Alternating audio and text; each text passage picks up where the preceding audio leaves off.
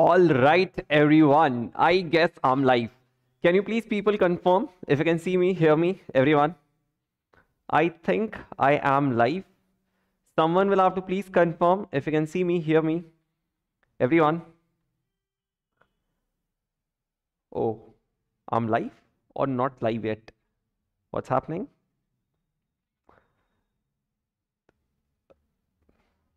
So how's this happening that I can see your messages but not my video? People in the class, can you see me? Everyone. So I am actually super duper excited to start with this thing and I really hope even you guys are but मुझे एक चीज समझ नहीं आ रही है यार ऐसा क्यों हो रहा है कि मैं खुद का वीडियो नहीं देख पा रहा हूं Why is this happening? Just a minute, huh? You can see me. Can I continue? even if I don't see myself on YouTube live? I don't know. All right good evening यार good evening everyone super duper good evening आप सभी के हालचाल कैसे बता दीजिए everyone so finally यार मई 24 और नवंबर 24 वालों आपने अपनी तैयारी के लिए मुझे चुनी लिया राइट right? और आज जब आपने मुझे चुना ही है तो मैं बता दूं राइट right? हमारे ये एफर्ट्स हमारे efforts 100 percent hundred percent amazing result लाने वाले हैं राइट right? और ये आप प्रिपरेशन के दौरान ही समझ जाओगे जिस लेवल पे हम लोग तैयारी करेंगे ऑटोमेटिकली आपको समझ में आ जाएगा that you have taken a right call all right so कौन कौन है क्लास में I know people are yet to join कौन कौन है क्लास में just a minute let me check wait wait for a second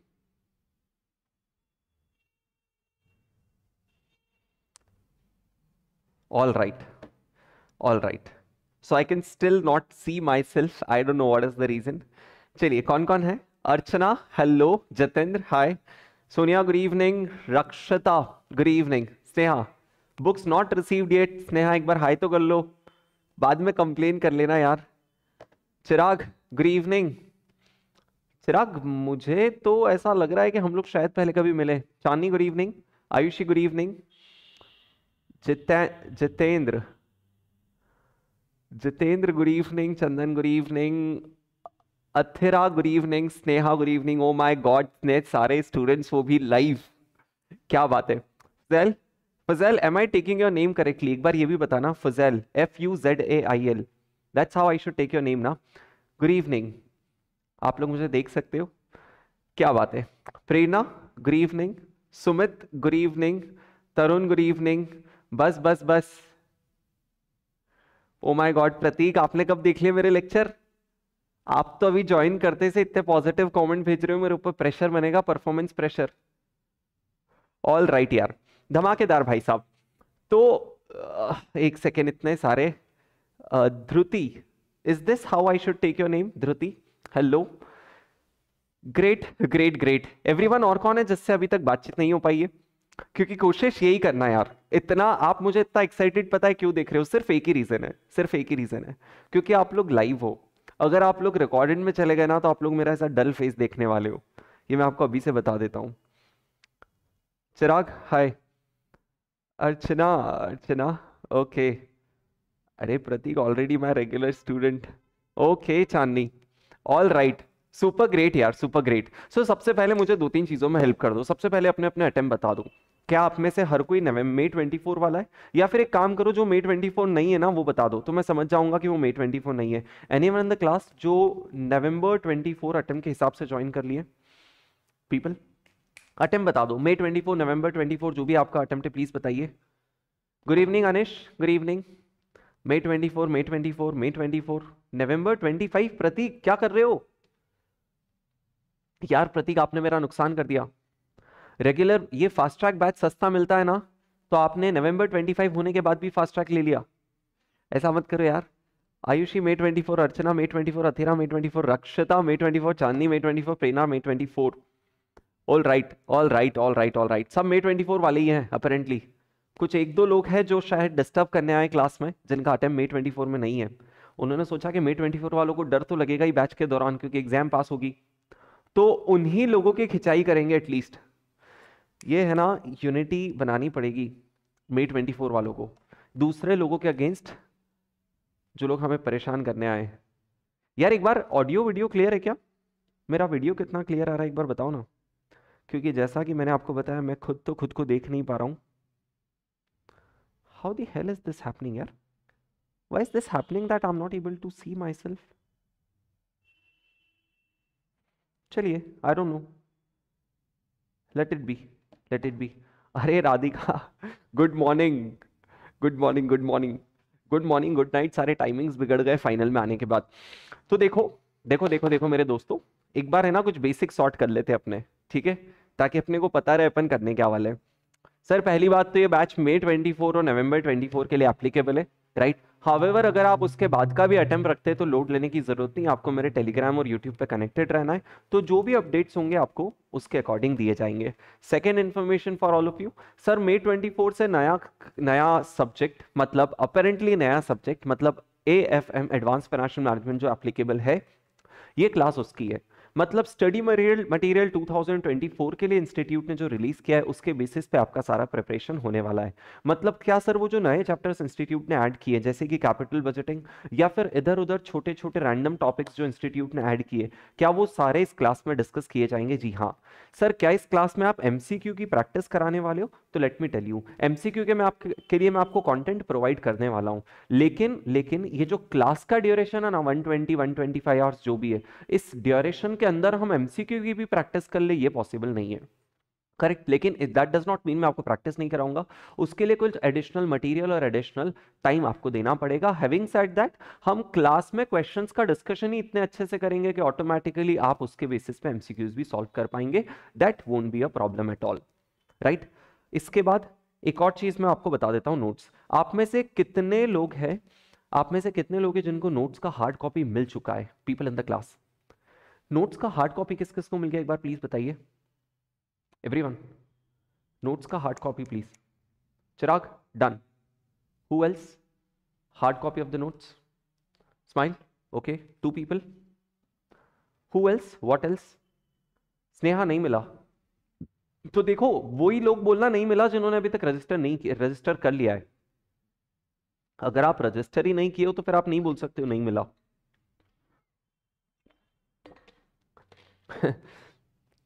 Radhika रास्ते में ठीक है Tarun not received Tarun but registered right यार एक काम करो एक काम करो मुझे तो ये बता दो कि आप में से कौन लोग अभी तक रजिस्टर किए नहीं है बट आज डेमो देखने आए मतलब इनडायरेक्टली मुझे जज करने आए हो और मेरे मज़े लेने आए हो पीपल इन द क्लास रहा आप में से कितने लोगों ने अभी रजिस्टर ही नहीं किया यार अश्विनी आप मुझे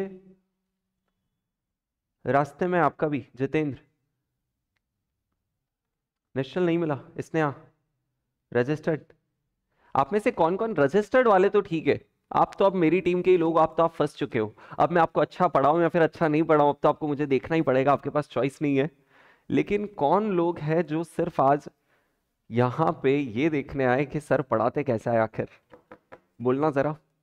आप लोगों को फंसाने की कुछ स्कीम बनानी पड़ेगी सही बात तो ये अरे यार I just realise that the just one second one second ना मुझे एक मिनट दोगे आप लोग please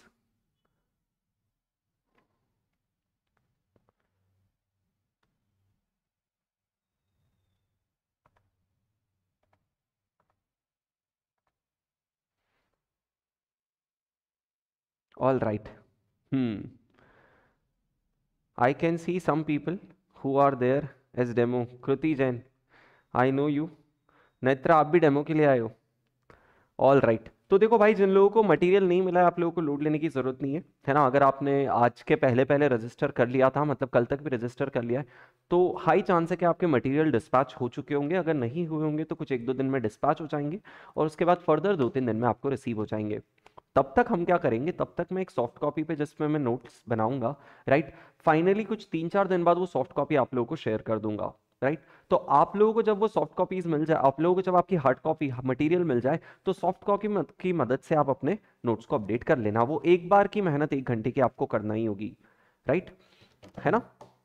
वो चीज़ करना रहेगी अब जिन लोगों को हार्ड कॉपीज मिल गई देखो सर आपको दो कॉपीज मिली होगी पहला आउट दूसरा आउट स्कैनर में बता दूँ दोनों के वॉल्यूम वन है मतलब volume two which is part two is yet to be received ये जो पार्ट वन आपको रिसीव हुआ है इसमें जो आउट आप देख रहे हो which is let me share my screen first है ना एक सेकेंड में अपना स्क्रीन शेयर कर रहा हूँ people in the class screen must be visible और राइट तो ये जो आउट नोट्स आपको मिले हैं राइट right? ये अपने कॉन्सेप्ट नोट्स हैं मतलब ये कॉन्सेप्ट नोट्स है जिसमें कुछ बेसिक बातें लिखी है कुछ इंपॉर्टेंट नोट्स लिखे हैं लेकिन वो चीज़ें जो प्रैक्टिकल क्वेश्चन पे अप्लाई की जाएगी वो हम साथ में थ्रू आउट द लेक्चर लिखेंगे राइट मतलब आपको अपनी नींद खोल के रखना है आपको अपना पेंसिल हाथ में रखना है पेन हाथ में रखना है और नोट सामने होने चाहिए पूरे इस लेक्चर के दौरान हम बहुत सारी चीज़ें खुद के हाथों से अपडोट अपडेट करेंगे क्योंकि यार अल्टीमेटली वही सारी चीज़ें याद रहती है बाकी पढ़ाया हुआ तो सब भूल जाते हैं पढ़ा हुआ तो हम सब भूल जाते हैं राइट जो खुद से लिखेंगे वही चीज़ें याद रहेगी सेकेंड तो सर कॉन्सेप्ट मतलब हम खुद से लिखने वाले मतलब कॉन्सेप्ट हम लोग राइट फ्रॉम द स्क्रैच जो भी एग्जाम लेवल है वहाँ तक बिल्ड करेंगे और सारी चीज़ें समझते हुए लिखते हुए खुद को प्रिपेयर करेंगे सेकेंड बात आती है सर क्वेश्चंस की क्वेश्चन के लेकर जो आपको सेकेंड मटेरियल मिला है which is the out scanner वो क्वेश्चन बैंक है which is a solve question bank right and most importantly now everyone for you that's a scannable question bank मतलब उस क्वेश्चन बैंक में आपको एक क्यूआर कोड दिख रहा है जिसको फास्ट के ऑफिशियल एप्लीकेशन से आप स्कैन करके ऑडियो सोल्यूशन का एक्सेस ले सकते हो लेकिन पूरी बात सुन लो अभी अभी प्राइमरी ऑब्जेक्टिव था एक बार बैच स्टार्ट करना और आप लोगों तक नोट्स पहुंचाना राइट तो अभी सिंस आप बैच का ही पार्ट हो अभी आपको ऑडियो सोल्यूशन का एक्सेस नहीं मिलेगा दो रीजन से पहला एक्सेस विद टाइम दे देंगे सेकंड अभी नोट्स में ऑडियो सोल्यूशन इंटीग्रेट करना पेंडिंग है अभी क्यू कोड पर इंटीग्रेट हुआ है अब ऑडियो सोल्यूशन इंटीग्रेट कब होगा एक बार अपना फास्ट ट्रैक खत्म हो जाएगा समवेयर अराउंड फेब फेब के एंड में जब फास्ट ट्रैक खत्म हो जाएगा तो मार्च से आपको सारे ऑडियो uh, सोल्यूशन फिर बैक टू बैक मिलना स्टार्ट हो जाएंगे all right second sir outscanner को लेके अप्रोच क्या होगा तो आउटस्कैनर के बियॉन्ड आपको बुक इनफैक्ट इन दोनों बुक्स के बियॉन्ड ना ही कोई कॉन्सेप्ट ना ही कोई क्वेश्चन आपको रेफर करने की जरूरत है this is people in the class super comprehensive मतलब आप इस पर हंड्रेड परसेंट ट्रस्ट कर सकते हो सिर्फ और सिर्फ क्या रेफर करने की जरूरत है सुन लो हमारा अटेम्प्ट है May twenty four for example अभी मे ट्वेंटी फोर के लिए जो आर और एम आएंगे उसमें अगर कोई नया क्वेश्चन आता है तो वो हमें ऑब्वियसली अलग से रेफर करना पड़ेगा नवंबर 23 तक के एग्जाम पेपर में पूछे गए सारे क्वेश्चन एंड नोट्स में आपको मिल जाएगी आपको कोई प्रॉब्लम नहीं आएगी राइट ये बात भी हो गई थर्ड बात सर क्या आप क्लास में क्वेश्चन सॉल्व कराने वाले हो जी हाँ सुन लीजिए कैसे हम लोग क्वेश्चन बिल्कुल खोल के डिस्कस करेंगे मतलब उतना खोल देंगे जितना रेगुलर बैच में भी खोलते हैं लेकिन लेकिन हम क्लास में उसको सॉल्व करते टाइम कैलसी पे सॉल्व करेंगे स्टेप वाइज डिस्कस करेंगे लेकिन प्लीज़ एक बात समझ लीजिए हम लोग क्लास में लिखने का टाइम वेस्ट नहीं कर पाएंगे है ना क्योंकि अगर आपको कॉन्सेप्चुअल क्लैरिटी रेगुलर जैसा मिल रहा है अगर आपको क्वेश्चन का डिटेलिंग रेगुलर जैसा मिल रहा है तो अगर लिख भी देंगे ना तो वो रेगुलर बैच ही बन जाएगी जिसके लिए लगते हैं 220 घंटे जो हम नहीं अफोर्ड कर सकते हैं आज की तारीख में डन तो तो ये सीन है यार आई थिंक सब कुछ बता दिया है ना जो जो बताना था बता दिया अब एक बार एक बार ये चीज़ देख लो ताकि आप इस चीज़ को लेकर कंफ्यूज नहीं हो ये इंस्टीट्यूट के चैप्टर है राइट हैंड साइड में जो May 2020 sorry left hand side में इंस्टीट्यूट के चैप्टर है जो मे 2024 स्टडी मटेरियल में आपको मिलेंगे राइट और राइट हैंड साइड में अपनी बुक्स के अकॉर्डिंग चैप्टर के नेम कहीं कहीं चैप्टर के नाम हियर एंड देयर हमने किए हैं क्यों ताकि क्योंकि क्योंकि एक्चुअल में पता है क्या जैसे for example for example security valuation जो स्टडी मटेरियल में चैप्टर है है ना जिसमें आप अलग अलग सिक्योरिटीज़ का वैल्यूएशन करना सीखते हैं उसमें कौन कौन सी सिक्योरिटीज़ कवर्ड है for example preference share covered है बॉन्ड्स कवर्ड है मनी मार्केट सिक्योरिटीज़ कवर्ड है और इक्विटी सिक्योरिटीज़ कवर्ड है अभी जो चार सिक्योरिटी है ना इसमें से पहली तीन सिक्योरिटीज़ के लिए अलग टाइप के थॉट्स चाहिए माइंड में अलग टाइप के लॉजिक रन करने पड़ते हैं और इक्विटी वैल्यूएशन के लिए अलग लॉजिक रन करने पड़ते हैं इनफैक्ट इक्विटी वैल्यूएशन के लिए जो लॉजिक लगता है और इंस्टीट्यूट का थर्टींथ नंबर का जो चैप्टर है बिजनेस वैल्यूएशन उन दोनों का लॉजिक सेम बैठता है करेक्ट तो इस वजह से चीज़ों को थोड़ा जम्बल अप किया है but that is hundred percent for your betterment for your comfort for your convenience all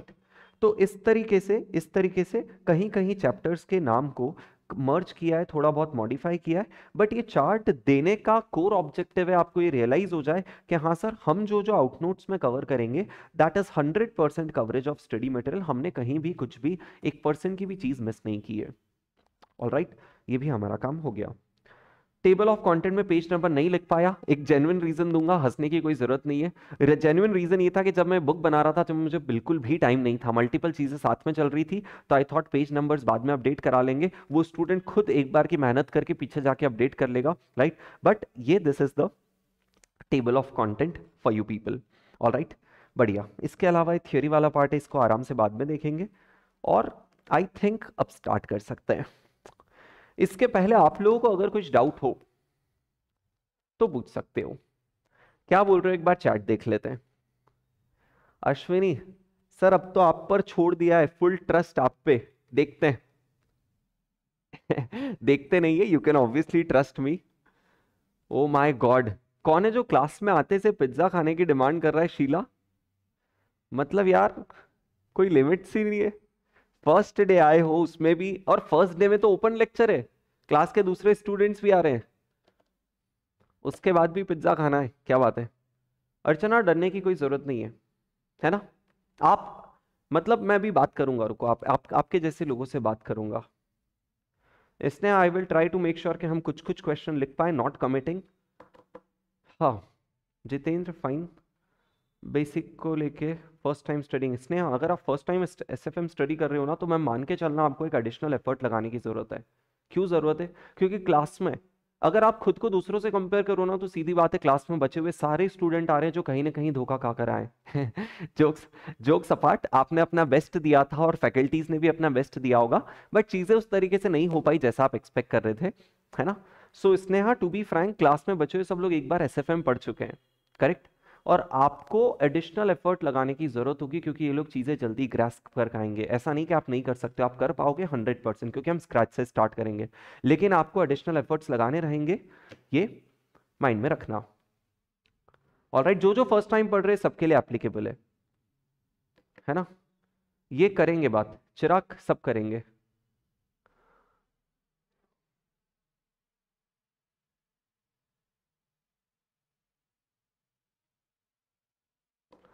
Nilesh additional topics जो है ना जो पुराने स्टूडेंट्स को मिलेंगे ये फास्ट ट्रैक बैच जब फेब में कंप्लीट हो जाएगा उसके बाद मार्च में सारा आप लोगों को जो जो पुराने स्टूडेंट हैं उन लोगों को सारा कंटेंट मिलेगा ऑल राइट चलिए ग्रेट सो फाइनली सर बहुत सारी बातें कर लिए अब मेरी बात सुनो एक्सपेक्टेशन एक ही है एक एक्सपेक्टेशन जो मैं हंड्रेड परसेंट कह के कह सकता हूँ आपका ए एफ एम का पूरा एक्सपीरियंस मतलब आपका लर्निंग एक्सपीरियंस आपका कॉन्फिडेंस आपका एग्जाम एक्सपीरियंस इनफैक्ट आपका रिजल्ट भी चेंज कर सकती वो है कुछ दो तीन चीज़ें मुझे आपसे चाहिए टेलीग्राम पे भी बोला था हर दिन हर दिन हर दिन पढ़ना है एवरी प्लीज़ हर दिन लाइव आ जाइए हर दिन अपना कंसिस्टेंटली दे दीजिए लेक्चर को राइट right? और जो भी आपको क्वेश्चन सॉल्व करने के लिए मिल रहे हैं उसको राइट right? और अल्टीमेटली अल्टीमेटली क्लास खत्म होने के बाद रिविजन वगैरह उस पर बाद में आएंगे बट ये चीज़ें कर ली ना तो मेरा अश्योरेंस है आपको कि अगर आप अपना क्लास में बेस्ट दे रहे हैं अगर आप अपने क्वेश्चन रेगुलरली सॉल्व कर रहे हैं तो हंड्रेड हमें एग्जाम में सेवेंटी टू एटी प्लस लाने से कोई नहीं रोक सकता पर पहले आप लोगों से जान लेता हूं ये मेरी आज की लास्ट बात है with before we come to the main content before we come to the main content आज की लास्ट बात मैं चेक करना चाहता हूं पीपल पीपल आप में से कितने लोगों को लगता है कितने लोगों को लगता है कि आज जहां पे आप खड़े हो which is which date fifteenth of December मतलब हाफ ऑफ दिसंबर और चार महीने ऑफ 2024 बचे हैं हमारे पास फोर एंड हाफ मंथ्स अभी भी बचे हैं आपके पास आप में से कितने लोगों को लगता है कि जहां आज हम खड़े हैं यहां से हम 70 टू 80 प्लस का स्कोर बना सकते हैं people in the class everyone मतलब आप में से किसको लगता है कि आज भी पॉसिबल तो है जो हुआ हमारे साथ वो एक अलग चीज थी हम कहाँ स्टैंड कर रहे थे वो एक अलग चीज थी बट आज जो शुरुआत हमने की यहां से हम 70 टू 80 प्लस का टारगेट अचीव कर सकते ये बात आपको अंदर है क्या people in the class everyone please बोलो बोलो बोलो इस्माइल यस मोहित यस मुझे तो लगता है मेरा हाथ हमेशा से ऊपर इस चीज के लिए क्योंकि मुझे पता है मैं क्या पढ़ाने वाला हूं Ashwin yes Khushveer yes Kriti yes Mohit Chandni Chirag Subodh Ahira Ayushi Jitendra Sumit Netra प्रवन क्योंकि क्वेश्चन पूछना इसलिए जरूरी है कि जब तक आप खुद पे विश्वास नहीं करोगे ना जब तक आपको खुद को अंदर से ना पता होना कि क्या क्या पॉसिबल है तब तक आप समझ रहे हो आपको पत, आप एक बार ड्रीम तो देखो कि क्या अचीव कर सकते हो हो सकता है हम 70 टू 80 की तैयारी क्लास में कर सकते हैं और हो नहीं सकता है हम करेंगे और आप सिर्फ पास की एक्सपेक्टेशन लेकर बैठे हो आप बात समझ रहे हो क्या हम कहां जा सकते एक बार उस चीज को इमेजिन कर लो आज आराम से ताकि अपन सबके माइंड में रहे कि हर दिन जो एफर्ट्स लगेंगे ना वो 70 टू 80 मार्क्स के लिए लगेंगे हर दिन और वो हम अचीव करके रहेंगे ये बात मैं आप सबको बता देना चाहता हूं पीरियड खत्म बात 70 टू 80 मार्क्स का टारगेट हम में से क्लास का हर एक स्टूडेंट लेके चलेगा और सिर्फ टारगेट लेना हवा में बात नहीं उसके लिए हर दिन मेहनत भी करेंगे all right this is what we are starting the batch for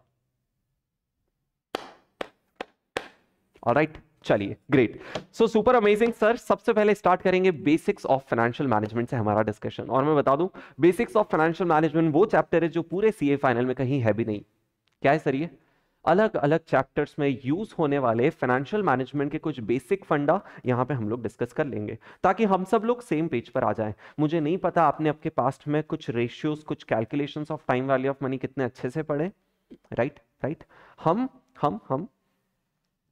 वो सारे बेसिक्स को एक जगह इकट्ठा कर लेते हैं ताकि पूरे एफ में फिर कभी भी हमें कुछ भी ज़रूरत लगे तो हम यहाँ पे आके उस चीज़ को रिवाइज कर लेते हैं और यहाँ से हमारा बेस बिल्ड हो जाता है राइट ग्रेट फाइन सर सबसे पहले डिस्कशन स्टार्ट कर रहे हैं बेसिक रेशो से बेसिक रेशो में सर सबसे पहला कैलकुलेशन होता है अर्निंग्स पर शेयर ये वो कैलकुलेशन है जो सी ए इंटर में आप लोगों ने बहुत अच्छे से पढ़ा इसमें कोई डाउट नहीं है और एक सेकेंड क्लास में जितने भी लोग हैं आप लोगों में थोड़ी भी शर्म है क्या देख रहा हूं मैं ये कोई गैस करेगा मैं किस चीज पे कमेंट करने वाला हूं आप गैस कर सकते हो एक यूट्यूबर को क्या चाहिए होता है बोलो ना एक यूट्यूबर को क्या चाहिए होता है बोलो बोलो बोलो एक यूट्यूबर को क्या चाहिए होता है पता है ना एक बात बताओ क्लास में 44 स्टूडेंट्स हो राइट right? किसी को तो रियलाइज हुआ उसने लाइक भी कर दिया क्लास में 44 स्टूडेंट्स है जो कॉन्करेंटली देख रहे हैं है ना और अभी लाइक कितनों ने किया सिर्फ बी स्टूडेंट्स ने चलो यार चलो चलो चलो है ना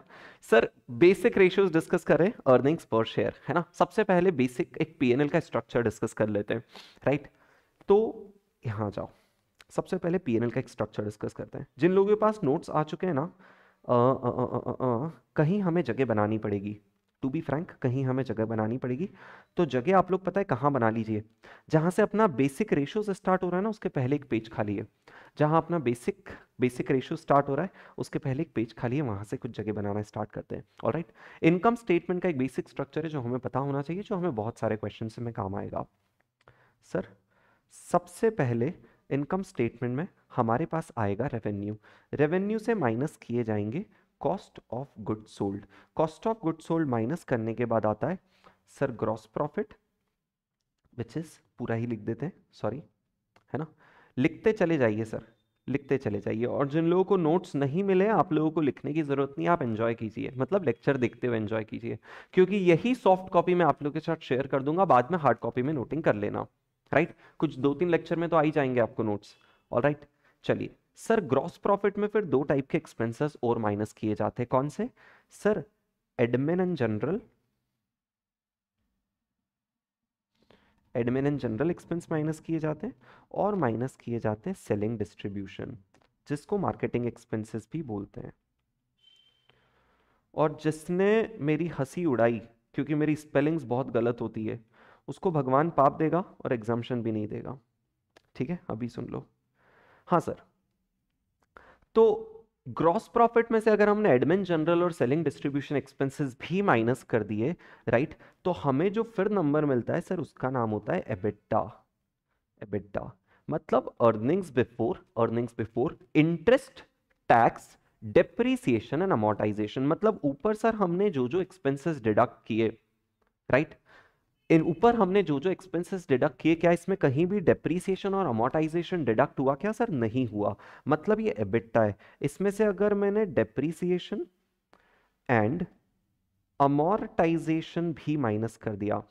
एबिट्टा में से डेप्रीसिएशन अमोर्टाइजेशन भी माइनस कर दिया तो आंसर आ जाता है एबिट और एबिट को मेरे भाइयों और क्या कहते हैं operating profit operating profit cool sir operating profit क्यों कहते हैं पता है ऑपरेटिंग प्रॉफिट क्यों कहते हैं क्योंकि इस प्रॉफिट को कैलकुलेट करते टाइम इस प्रॉफिट को कैलकुलेट करते टाइम ऊपर हमने जो जो एक्सपेंसेस डिडक्ट किए हैं है ना ऊपर हमने जो जो एक्सपेंस डिडक्ट किए जैसे सी जैसे एडमिन सेलिंग है ना और जैसे डेप्रीसिएशन ये जितने भी एक्सपेंसेस पीपल हम इन द क्लास हमने डिडक्ट किए ये सारे ऑपरेटिंग एक्सपेंसेस हैं ये सारे ऑपरेटिंग एक्सपेंसेस है मतलब अगर मैंने रेवेन्यू में से अपने सारे ऑपरेटिंग एक्सपेंसेस माइनस कर दिए तो मुझे मिल जाएगा operating profit which is EBIT sir इसके बाद नॉन ऑपरेटिंग नेचर के भी एक्सपेंसेस माइनस होना स्टार्ट हो जाएंगे नॉन ऑपरेटिंग नेचर में एबिट में से सबसे पहले क्या जाता है interest interest do you realise interest का मेरे ऑपरेशन से कोई रिलेशन ही नहीं है यार इंटरेस्ट का तो मेरे कैपिटल स्ट्रक्चर से रिलेशन है राइट right? मेरा कैपिटल स्ट्रक्चर चेंज होगा तो मेरा इंटरेस्ट का अमाउंट चेंज हो जाएगा इवन इफ मेरे कंपनी के ऑपरेशंस मेंटेन रहे मेरे ऑपरेशन सेम है मेरे पास वही एम्प्लॉय है वही मशीन से वही प्रोडक्शन है वही प्रोडक्ट से वही मार्जिन है सब कुछ सेम है लेकिन मेरा कैपिटल स्ट्रक्चर चेंज होगा तो एबिट तक कोई चेंज नहीं आएगा लेकिन एबिट के बाद interest which is capital structure की वजह से होने वाले एक्सपेंस में चेंज आ जाएगा ठीक है सर फाइन इंटरेस्ट अगर हमने माइनस कर लिया तो बचा अर्निंग्स बिफोर टैक्स तो बचा अर्निंग्स बिफोर टैक्स और अर्निंग्स बिफोर टैक्स में से फिर जाता है सर वो एक्सपेंस जो आप लोग कैलकुलेट तो बहुत करते हो आर्टिकलशिप में बट जिस दिन अपने पॉकेट से दोगे ना उस दिन पता चलेगा पहले मुझे भी मज़ा आता था टैक्स कैलकुलेट करने में पर जिस दिन से देना पड़ रहा है ना उस दिन से पता चल रहा है चलो अभी फिर इमोशनल हो जाऊंगा मैं टैक्स की बात करेंगे तो तो हम लोग सर इसके बाद कैलकुलेट करते हैं पैट मतलब यहाँ तक आते आते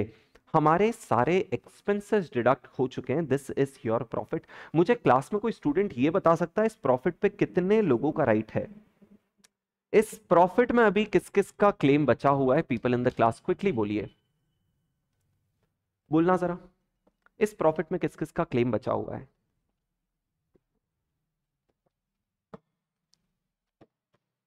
हम्म शेयर होल्डर्स अर्चना देखो डिप्लोमेटिक आंसर दोगे ना तो नहीं चलेगा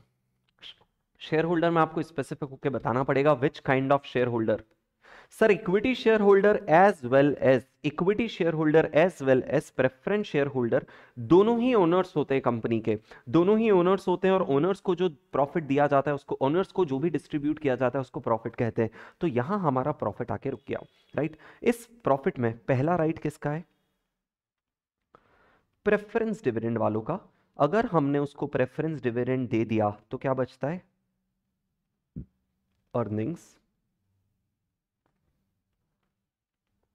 available to equity share holder जिसका शॉर्ट में हम लोग नाम बोलते हैं E A E S earnings available to equity share holder I think इसकी थोड़ी सी हमको जगह चेंज कर देनी चाहिए ओ my god wait earnings available to equity shareholder weight है ना जिसको हम लोग ई ए ई एस बोलते हैं मतलब ये वो प्रॉफिट है सर ये वो प्रॉफिट है जो सिर्फ और सिर्फ इक्विटी शेयर होल्डर्स को बिलोंग करता है इसमें से प्रेफरेंस वालों को भी उनका पैसा दे दिया क्या ये पूरा प्रॉफिट हम उन्हें in the form of distribute dividend distribute कर देते हैं जी नहीं some part of it right तो जितना पार्ट आप डिविडेंड के फॉर्म में डिस्ट्रीब्यूट करते हो इनफैक्ट पूरा लिखने दीजिए इक्विटी डिविडेंड जितना पार्ट इक्विटी के डिविडेंड के फॉर्म में डिस्ट्रीब्यूट कर देते हैं वो डिस्ट्रीब्यूट हो जाता है और जो डिस्ट्रीब्यूट नहीं करते हो वो रिटेन्ड अर्निंग्स रिटेन्ड अर्निंग्स के फॉर्म में कंपनी के पास रह जाता है all right done so this is people in the class the entire format of income statement जो for the purpose of sfm afm my bad for the purpose of afm हमें काम आने वाला है right great wait just few months by watching your lecture as a student now as a C thank you so much for amazing clarity क्या बात है thank you so much for your comment retained earnings Abhinav Chhabra cool done sir कुछ basic ratios कुछ basic ratios देखने की ज़रूरत है आ जाइए earnings per share people in the class EPS calculate करना मतलब इक्विटी इक्विटी शेयर होल्डर थे ना प्लीज ध्यान से सुन लो ध्यान से सुन लो वो जो इक्विटी शेयर होल्डर थे ना उनकी बात कर रहा हूं प्रेफरेंस वालों की बात नहीं कर रहा हूं प्रेफरेंस वालों की अर्निंग्स फिक्स होती है क्या आप सभी को पता है कि प्रेफरेंस शेयर्स के साथ एक fixed rate of dividend attach होता है ten percent twelve percent fifteen percent जो भी इक्विटी शेयर होल्डर का तो रेसिड्यूअल क्लेम होता है कि जो भी बचा सब इक्विटी का करेक्ट करेक्ट तो हम देखना चाह रहे हैं कि यार पर शेयर लेवल पे इक्विटी वालों ने कितना कमाया क्योंकि प्रेफरेंस वालों का तो पता ही होता है फिक्स होता है इक्विटी का पता थोड़ी ना होता है कैसे फाइंड आउट करें सर बहुत सिंपल है उनका टोटल प्रॉफिट ले लो कि वो जो टोटल प्रॉफिट है जो इनको बिलोंग करता है divided by number of share जो उनको बिलोंग करते हैं तो पता चल जाएगा हर शेयर लेवल पे हर शेयर लेवल पे उन्होंने कितना कमाया राइट तो सर वो कौन सा प्रॉफिट है ऊपर इनकम स्टेटमेंट में देख के बताना वो कौन सा प्रॉफिट है जो इक्विटी को बिलोंग करता है every can I say earnings before tax और कैन आई से पैट और can I say earnings available to equity share holder of all these numbers which is that profit which belong to equity share holders every one बताइए बोलो बोलो बोलो बोलो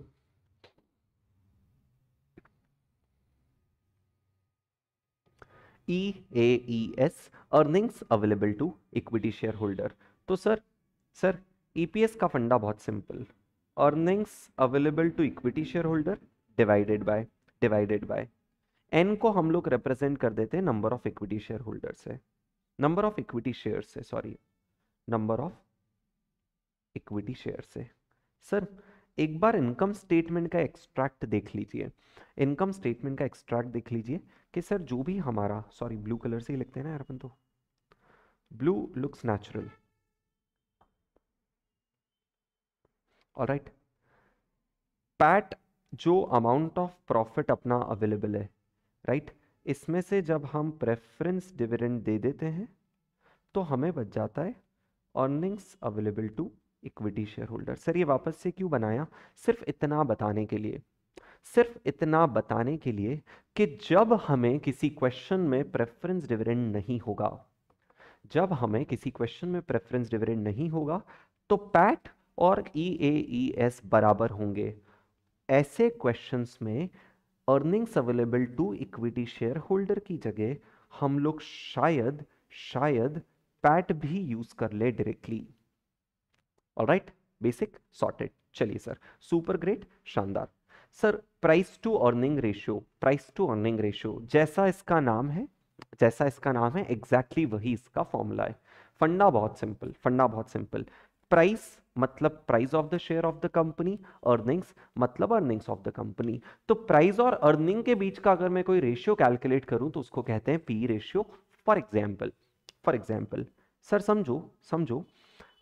market uh, में share of T चलो यार अभी सब ये चीज़ नहीं खोलते हैं मैं इमोशनल हो गया था एकदम रेगुलर बैच स्टूडेंट्स की तरह और एकदम से मैंने काइट खोल दिया था to look at the share prices of the company है ना बट ऑब्वियसली यहाँ वो सब चीज़ें डिस्कस नहीं अपना कोर इंटेंट होगा एग्जाम राइट आ जाइए समझो सर एक कंपनी है जिसका एक कंपनी है जिसका price is rupees two hundred right और उस कंपनी का earnings per share ten so two hundred divided by ten is the P ratio जिसका आंसर आता है twenty times twenty times so मैंने लिखा क्या फॉर्मूला क्या बना price to earnings ratio price means M market price per share है ना और आपको परेशान नहीं होना है पीपल इन द क्लास आप लोगों को ये नहीं सोचना है कि सर ये वर्ड्स हमें कैसे याद रहेंगे what is M P S what is E P S what is P ratio हर वो चीज़ जो in the form of notation use हो रही है वो कहीं ना कहीं लिखी हुई है और अगर वो नहीं लिखी होगी तो मैं आपको यहाँ लिखवा दूंगा जैसे कि आप ये देख रहे हो मुझे पता है कि एन कहीं भी नहीं लिखा हुआ है इसलिए हमने एन को पर्टिकुलरली अपडेट कर दिया डन ठीक है आ जाइए M P S divided by E P S is what is going to give you P ratio common sense बहुत सिंपल कॉमन सेंस बहुत सिंपल कि दस रुपए की अर्निंग्स कमाने के लिए दस रुपए की अर्निंग्स कमाने के लिए दस रुपए का ईपीएस e कमाने के लिए शेयर होल्डर ने मार्केट में उस शेयर के लिए दो सौ रुपया दिया मतलब मार्केट में लोग उसके लिए दो सौ रुपया देने के लिए रेडी है तो ट्वेंटी टाइम्स का मतलब हो गया for every one rupee of earning for every one rupee of EPS people are ready to pay twenty rupees for its price for its for the price of the share done super simple मतलब sir अगर इसी फॉर्मूले के basis पे इसी फॉर्मूले के basis पे हमें कोई एम कैलकुलेट करने को बोले तो अगर हमें कोई एम कैलकुलेट करने को बोले तो हम sir obviously obviously E P S multiplied by P ratio करके भी एम कैलकुलेट कर सकते हैं ये रहा आपका ई e जब ये ई e इधर जाएगा और पी रेशियो में मल्टीप्लाई होगा तो आप एम कैलकुलेट कर सकते हो मतलब इस फॉर्मूले को किसी भी तरीके से मॉडिफाई किया जा सकता है वो क्वेश्चन में हम समझ लेंगे done great everything with respect to dividends now sir जैसे जैसे टोटल अर्निंग्स टोटल अर्निंग्स को टोटल अर्निंग्स को नंबर ऑफ शेयर से डिवाइड करके हम ये फाइंड आउट कर सकते हैं कि पर शेयर लेवल पे कंपनी ने कितना कमाया वैसे ही टोटल डिविडेंड्स को टोटल डिविडेंड्स को भी नंबर ऑफ शेयर से डिवाइड करके ये फाइंड आउट कर सकते हैं कि पर शेयर लेवल पे कंपनी ने कितना डिविडेंड डिस्ट्रीब्यूट किया सो पर शेयर लेवल पे कंपनी ने कमाया ईपीएस पर शेयर लेवल पे कंपनी ने डिस्ट्रीब्यूट किया डीपीएस और बचा हुआ पर शेयर लेवल के पर शेयर लेवल पे रिटेन अर्निंग बन गया right total earning minus total dividend is equals to total retain earnings right total E total equity का earning minus total dividend is equals to total retain earning अगर इन तीनों को मैं number of share से divide कर दूंगा तो क्या आ जाएगा पर शेयर अर्निंग मतलब EPS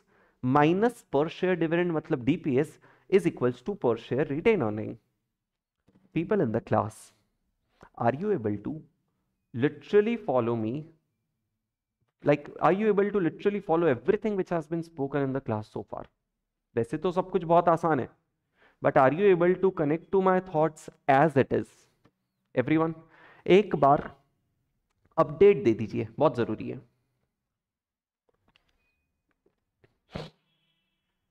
अदरवाइज ऐसा ना हो कि क्लास के एंड में पता चले मैंने अकेले नहीं समझाया और मैंने अकेले नहीं समझा है आप लोग भी हो ना मेरे साथ is I want is what I want to know क्या आपका दिमाग मेरी बातें प्रोसेस कर पा रहा है एवरीवन बोलो यार चलने दे इसी तरीके से यस चलिए great sir dividend per share आ गया डिविडेंड पर शेयर है अब परसेंटेज टर्म्स में जब भी डिविडेंड को मेंशन स्पेसिफाई एक्सप्रेस करने की बात आएगी तो डिविडेंट तीन तरीके से हम लोग परसेंटेज टर्म्स में बोल सकते हैं डिविडेंट तीन तरीके से परसेंटेज टर्म्स में बोला जाता है पहला होता है डिविडेंट रेट डिविडेंट रेट हमेशा as a percentage of face value होता है मतलब मतलब मैं मैं है ना फॉर्मूला लिखूंगा उसके पीछे वर्ड्स लिख दूंगा समझना आराम से बहुत टाइम है अपने पास देखो D P S is equals to face value multiplied by dividend rate मतलब अगर कंपनी बोलती है that we have announced 10 percent dividend rate तो भाई साहब 10 percent of what 10 percent of people in the class face value is going to be is going to be the dividend per share अगर company बोलती we have distributed 150 percent dividend one people in the class of face value मतलब dividend rate is always as a percentage of face value मतलब इसी चीज को मैं कैसे लिख सकता हूं मैं लिख सकता हूं dividend rate people in the class simply is D P S divided by face value all दो आपको नीचे वाली चीज का कभी काम नहीं पड़ेगा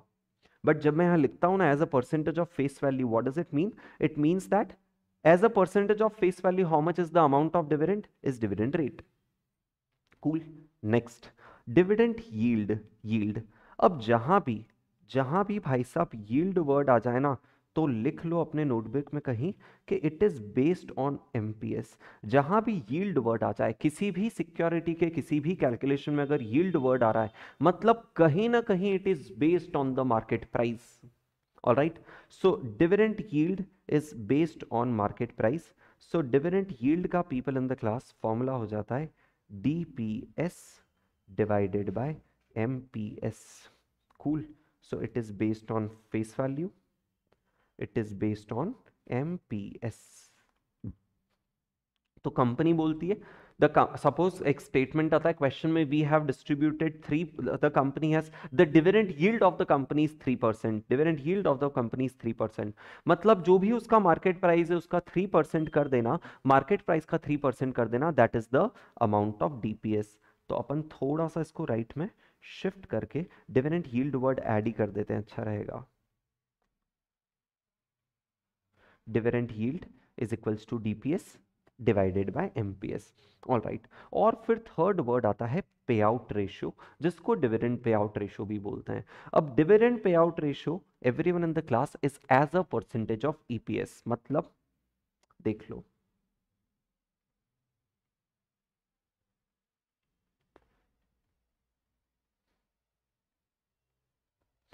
सपोज कंपनी ने पाँच रुपए का ईपीएस e कमाया और उस पाँच रुपए के ईपीएस e में कंपनी ने सोचा दो रुपए का डिविडेंड पर शेयर डिस्ट्रीब्यूट कर देते हैं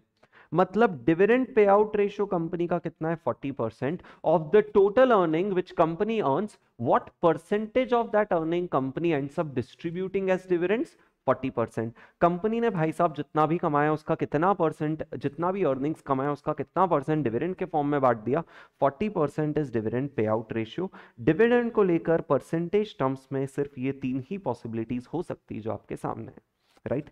related to pay out ratio is this word called as what retention ratio related to pay out ratio is this word called as retention ratio जिसमें क्या होता है ध्यान से सुन लीजिए सर जितना आप रिटेन अर्निंग कर रहे हो retain earning per share divided by EPS मतलब एक सेकेंड हम्म। इसका मतलब क्या हो गया इसका मतलब क्या हो गया कि सर कंपनी ने कंपनी ने दस पांच रुपया कमाया था पाँच रुपया अगर हंड्रेड परसेंट है ध्यान से देख लो कॉमन सेंस है पाँच रुपया हंड्रेड परसेंट है तो उसमें दो रुपया सर डिविडेंड के फॉर्म में बांट दिया ईपीएस में से दो रुपया डिविडेंड के फॉर्म में बांट दिया तो how much is the amount of retain earning तीन रुपया तो पाँच रुपये की टोटल अर्निंग में 40 परसेंट मैंने डिविडेंड डिस्ट्रीब्यूट कर दिया which is my pay out ratio मतलब 60 परसेंट मैंने रिटेन कर लिया which is my retention ratio तो थ्री रुपीज़ का retain earning per share divided by पांच रुपीज़ का ई e मतलब 60 percent people in the class is my retention ratio मतलब कहना से टोटल मेरी अर्निंग्स को या तो मैं डिस्ट्रीब्यूट करूंगा या फिर मैं रिटेन करूंगा देखो ना यार जो रुपया कमाए पांच रुपया जो डिस्ट्रीब्यूट करोगे वो डिस्ट्रीब्यूट हो जाएगा बचा हुआ तो ऑटोमेटिकली रिटेन हो जाएगा ना तो हंड्रेड परसेंट में से फोर्टी डिस्ट्रीब्यूट किया तो ऑटोमेटिकली रिटेन कितना हो गया सिक्सटी तो क्या मैं बोल सकता हूं या तो मैं ऐसा लिख सकता हूं कि वन या फिर एक मिनट रुको पहले लिख लेने दो फिर मैं सोचता हूं अभी लिखो मत आप लोग एक सेकेंड रुक जाओ वन माइनस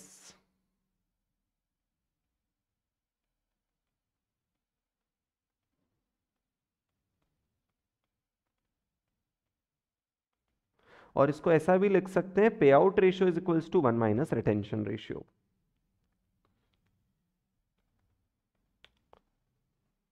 all right अब आप चाहें तो इसको अपडेट कर सकते हैं so sir this was everything people in the class with respect to difference कौन आए प्रदीप हाय प्रदीप क्या हाल है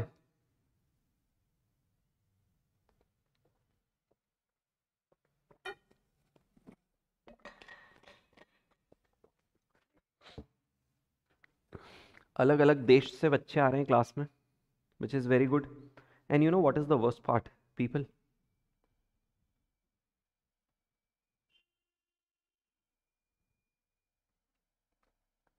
एक सेकेंड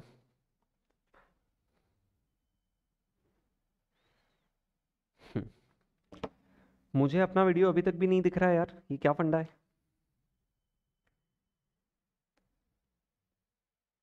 चलिए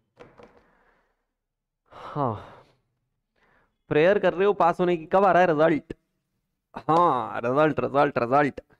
चलिए चलिए चलिए सर डिविडेंड का फंडा समझ लिया आगे आ जाइए आगे आ जाइए आई होप जिन लोगों के पास नोट्स आ चुके हैं वो साथ में नोटिंग करते हुए चल रहे हैं है ना बहुत ज़रूरी है boss market capitalisation market capitalisation समझना है जो आता ही है आपको सुनिए कंपनी के टोटल शेयर्स है ना मार्केट में शेयर का एक प्राइस है आप सबको पता है है ना एक प्राइस है जिसपे शेयर ट्रेड होता है जो स्टॉक एक्सचेंज पे मिल जाता है राइट अगर आपको और मुझे कंपनी का शेयर आपस में खरीदना बेचना है तो हम किस प्राइस पे खरीदते हैं जाके एम पे मार्केट प्राइस पे राइट तो मार्केट प्राइस पर हर शेयर की जो मार्केट वैल्यू है वो मार्केट प्राइस होता है लेकिन सर अगर कंपनी के सारे शेयर्स की कंपनी के पास जितने भी शेयर्स है उन सब की टोटल मार्केट वैल्यू देखना हो तो उसको क्या कहते हैं people in the class market cap market cap है ना फॉर एग्जाम्पल समझो मार्केट में एक शेयर है जिसका प्राइस फिफ्टीन रुपीज चल रहा है हमने देखा ये तो एक शेयर का प्राइस है कंपनी के पास ऐसे कितने शेयर है सर टोटल टोटल बोल रहा हूँ टोटल थाउजेंड शेयर है कंपनी के पास टोटल थाउजेंड शेयर है राइट तो कंपनी का मार्केट कैप कितना हो गया मार्केट कैप कितना हो गया यहाँ पे हम लोग लिख लेते हैं अब जो मैं लिख रहा हूँ ये फॉर्मूलाज नहीं है बट मैं वर्ड्स लिखूँ तो इसका मतलब ये मत समझना कि सर ने तो फॉर्मूला लिखा दिया भाई कुछ तो वर्ड लिखना पड़ेंगे ना समझाने के लिए डायरेक्टली नंबर तो लिख नहीं सकता हूँ डायरेक्टली नंबर्स तो लिख नहीं सकता हूं कुछ तो वर्ड्स लिखूंगा that is not a formula that is just an understanding all right आ जाओ आ जाओ आ जाओ अरे भाई साहब चैट में इधर उधर की बातें कोई नहीं करेगा है ना क्योंकि मेरा पूरा ध्यान समझाने में अब इस बीच आप मेरी बुराई कर दोगे तो मैं देख भी नहीं पाऊंगा कि कोई मेरे मजे ले रहा है ठीक है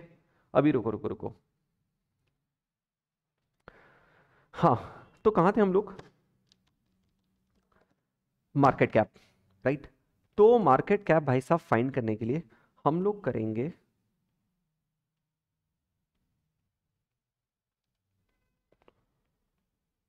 M P S which is market price per share into number of share sir कितना है M P S fifteen rupees into thousand share which is fifteen thousand this is what is called as total market cap और full market cap या फिर सिर्फ market cap of the company correct लेकिन उसी से related एक terminology निकल के आई free float market share Anish कह रहे स्क्रीन क्लियर नहीं है is it so people in the class Anish यार मेरी साइड से तो क्लियर है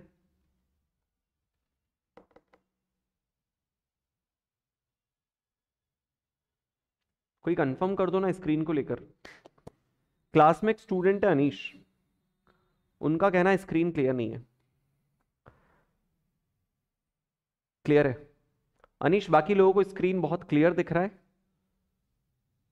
तो जिन लोगों को क्लियर नहीं दिख पा रहा है ना आपकी सेटिंग्स में देखो ना वो एच और वो सारा ऑप्शन होता है ना कुछ एच और ऐसा अलग अलग ऑप्शन ओके और अगर फिर भी आपको क्लियर नहीं है तो आपको सिर्फ चैट बॉक्स में इतना लिखना है क्लियर नहीं और मैं अपनी साइड से आप लोगों को गिफ्ट करने वाला हूँ एक फुल एच दिखने वाला बड़ा टीवी जिसपे आप मेरे लेक्चर्स देख पाओ ठीक है मतलब फुल एच वाला बड़ा टीवी ऑल right? या फिर एक बड़ा सा लैपटॉप जिसमें आप मेरे लेक्चर्स अच्छे से देख पाओ सुबोध आपको भी वो चेक करना पड़ेगा एच वाली चीज़ ऑल right? और नहीं है तो बताइए फिर मैं लैपटॉप गिफ्ट करता हूँ आपको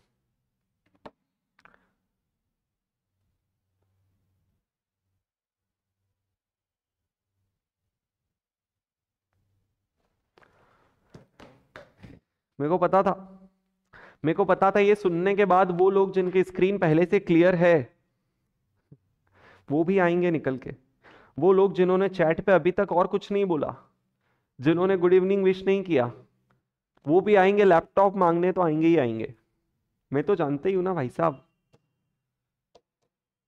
सुनो सुनो सुनो सुनो ये बस आप लोगों की नींद खोलने के लिए था और कुछ नहीं है देखो फुल मार्केट कैप तो पता चल गया कि अपने पास भाई साहब हज़ार शेयर है तो टोटल मार्केट कैप लेकिन आपको पता है कंपनी के जितने भी शेयर होल्डर्स होते हैं राइट right? कंपनी के जो भी शेयर होल्डर्स होते हैं टोटल मतलब जिन सब लोगों ने हज़ार शेयर होल्ड किए उसमें दो कैटेगरी के लोग होते हैं कुछ लोग वो होते हैं जो कंपनी के कोर होते हैं जिन लोगों ने कंपनी बनाई थी जिन लोगों जो लोग कंपनी में इन्वॉल्व है मतलब जो लोग कंपनी के प्रमोटर्स हैं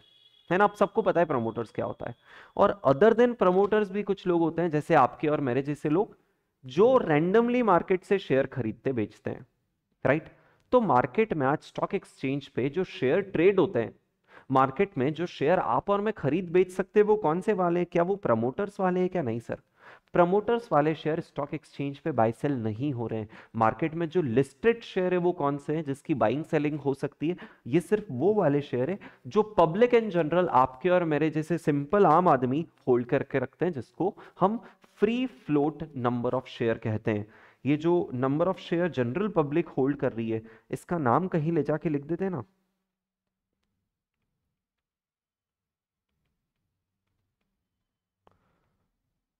फ्री फ्लोट शेयर्स ऐसा कुछ लिख दो है ना सफिशियंट है तो आपको पता है क्या आपको पता है क्या मतलब अगर इसी चीज को मैं ऐसे समझना चाहूं तो ऐसा बोल सकता हूं क्या कि देखो अल्टीमेटली यार कंपनी की जो भी टोटल वैल्यू एक बार कॉमन सेंस फील करना एक बार कॉमन सेंस फील करना मेरी बात सुनो ना कंपनी की जो भी टोटल वैल्यू है वो टोटल वैल्यू का अल्टीमेट राइट किसका उस टोटल वैल्यू पे सर शेयर होल्डर्स का कंपनी की जो भी टोटल अर्निंग्स है उस टोटल अर्निंग्स पर अल्टीमेटली राइट राइट किसका है सर शेयर होल्डर का तो कहना ही से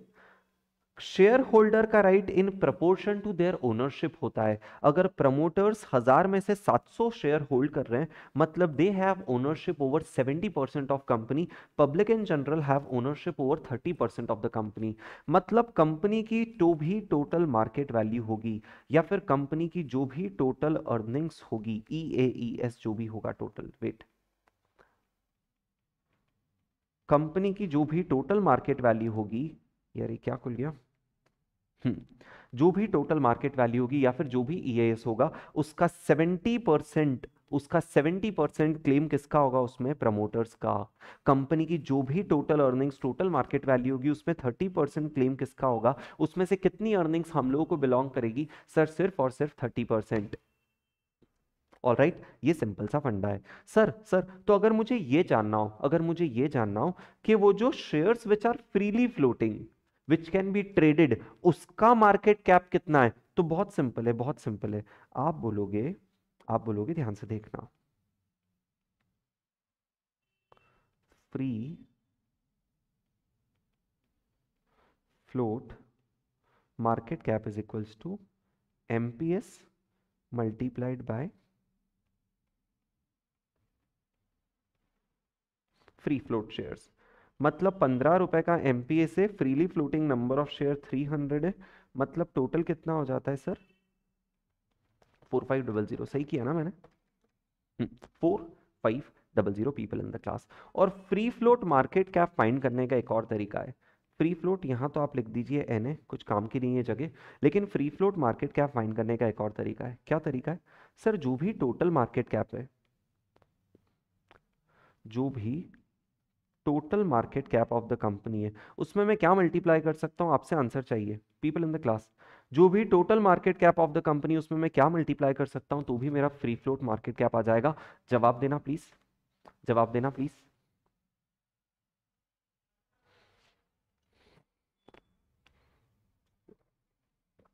बोलो ना total market cap of the company में मैं क्या चीज मल्टीप्लाई कर दूं क्या चीज मल्टीप्लाई कर दूं तो मेरा फ्री फ्लोट मार्केट कैप आ जाता है please please please can I से ये थर्टी परसेंट पार्ट मतलब percentage percentage of the company which is held by public in general मतलब उसको वर्ड दे सकते हैं फ्री फ्लोट होल्डिंग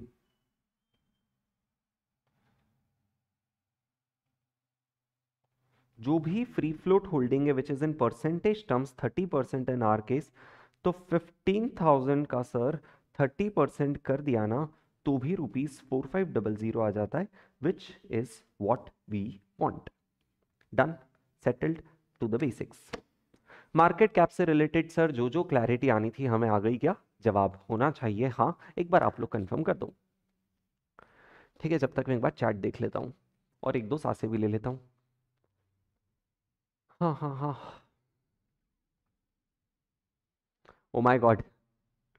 क्या आप लोग बीच में कमेंट पढ़े थे we have a student Raghav Raghav ने इतना डिफिकल्ट क्वेश्चन पूछ लिया कि शायद मैं आंसर ही नहीं कर सकता हूँ राघव यहाँ पे लोग जिंदगी और मौत के लिए अपनी लड़ाई लड़ रहे हैं जहाँ पे लोग ये सोच रहे हैं कि हम पास कैसे हुए और आपने बीच में क्या पूछ लिया कि सर मैं ट्वेल्थ क्लास में हूँ मैं सीए करना चाहता हूँ क्या मैं डेलीवर यूनिवर्सिटी जाऊँ या फिर सीए कर लूँ लोकल कॉलेज से which is the best Raghav आपका क्वेश्चन बहुत जेनविन है बट जिस जोन में यहाँ पे लोग हैं ना वो इस क्वेश्चन से मतलब इस क्वेश्चन का एक्सेप्ट ही नहीं कर पाएंगे यहाँ पे लोगों को चाहिए सिर्फ एक चीज marks So Raghav, your question is genuine, but sorry, this is not the right time actually to answer. है ना यहाँ लोगों को सांस लेने में प्रॉब्लम हो रही है क्योंकि इन लोगों के ऊपर सीए फाइनल का ऐसा गजब प्रेशर है कि ये सोचते हैं कि अब तो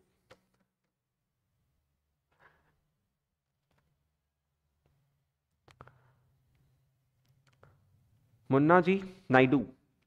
I already take C F A classes promotion नहीं कर रहा हूँ उन्होंने पूछा इसलिए बता रहा हूँ ठीक है तो उसके लिए आपसे आपको व्हाट्सएप करना पड़ेगा मुझे ऑल राइट डन चलो सर भाई साहब और भी आगे डिस्कशन ठीक है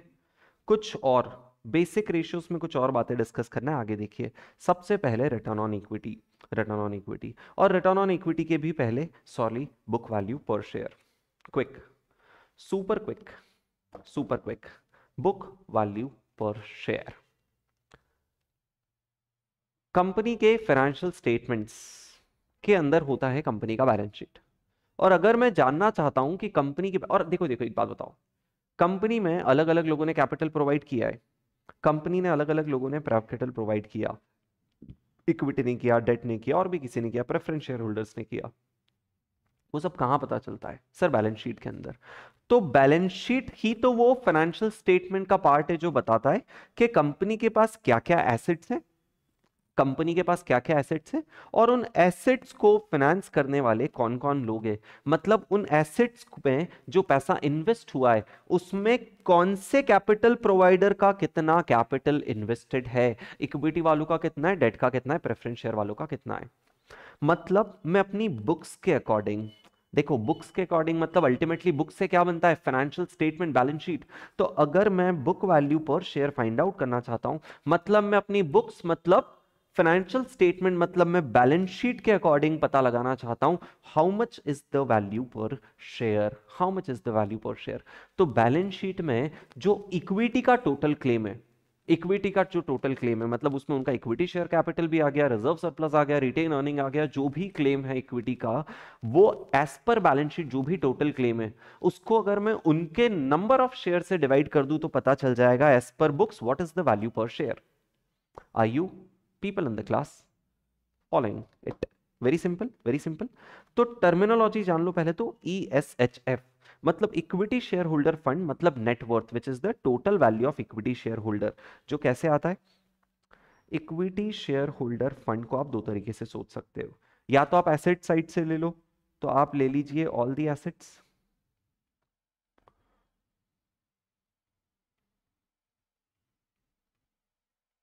all assets जिसमें हमें एक्सक्लूड करने पड़ेंगे फिक्टिशियस एसेट्स और फैक्टिशियस की स्पेलिंग मुझे नहीं आती अभी से बता रहा हूँ ठीक है तो गलत लिखी हो तो जज तो करना ही मत कंपनी के जो भी टोटल एसेट्स है कंपनी के जो भी टोटल एसेट्स हैं उसमें से अगर मैं माइनस कर दू external liabilities right so so, total हमारी कंपनी के पास ये एसेट्स हैं जिसमें से पहले पैसा दिया जाएगा इन आउटसाइडर्स को करंट लाइबिलिटीज को क्रेडिटर को आउटस्टैंडिंग एक्सपेंसेस को बैंक लोन को डिबेंचर्स को आउटसाइडर्स को पैसा दिया जाएगा इनफैक्ट इनफैक्ट अगर प्रेफरेंस शेयर्स का भी कुछ क्लेम है ना तो वो भी माइनस करना पड़ेगा प्रेफरेंस शेयर्स का कुछ क्लेम है तो वो भी माइनस करना पड़ेगा ये सब माइनस करने के बाद हम बोलेंगे जो भी पैसा बचा है जो रेसिडुअल क्लेम है वो सब इक्विटी शेयर होल्डर का है डन टन या फिर अपन लाइबिलिटी साइड से चल लो है ना या तो एसेट साइड से चल लिया फिर लाइबिलिटी साइड में चल लिए तो उनसे बोलेंगे भाई साहब जो भी इक्विटी शेयर कैपिटल है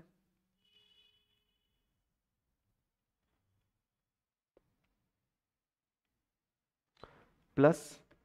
जो भी टाइप के रिजर्व्स एंड सरप्लस है प्लस जो भी टाइप की रिटेन अर्निंग्स है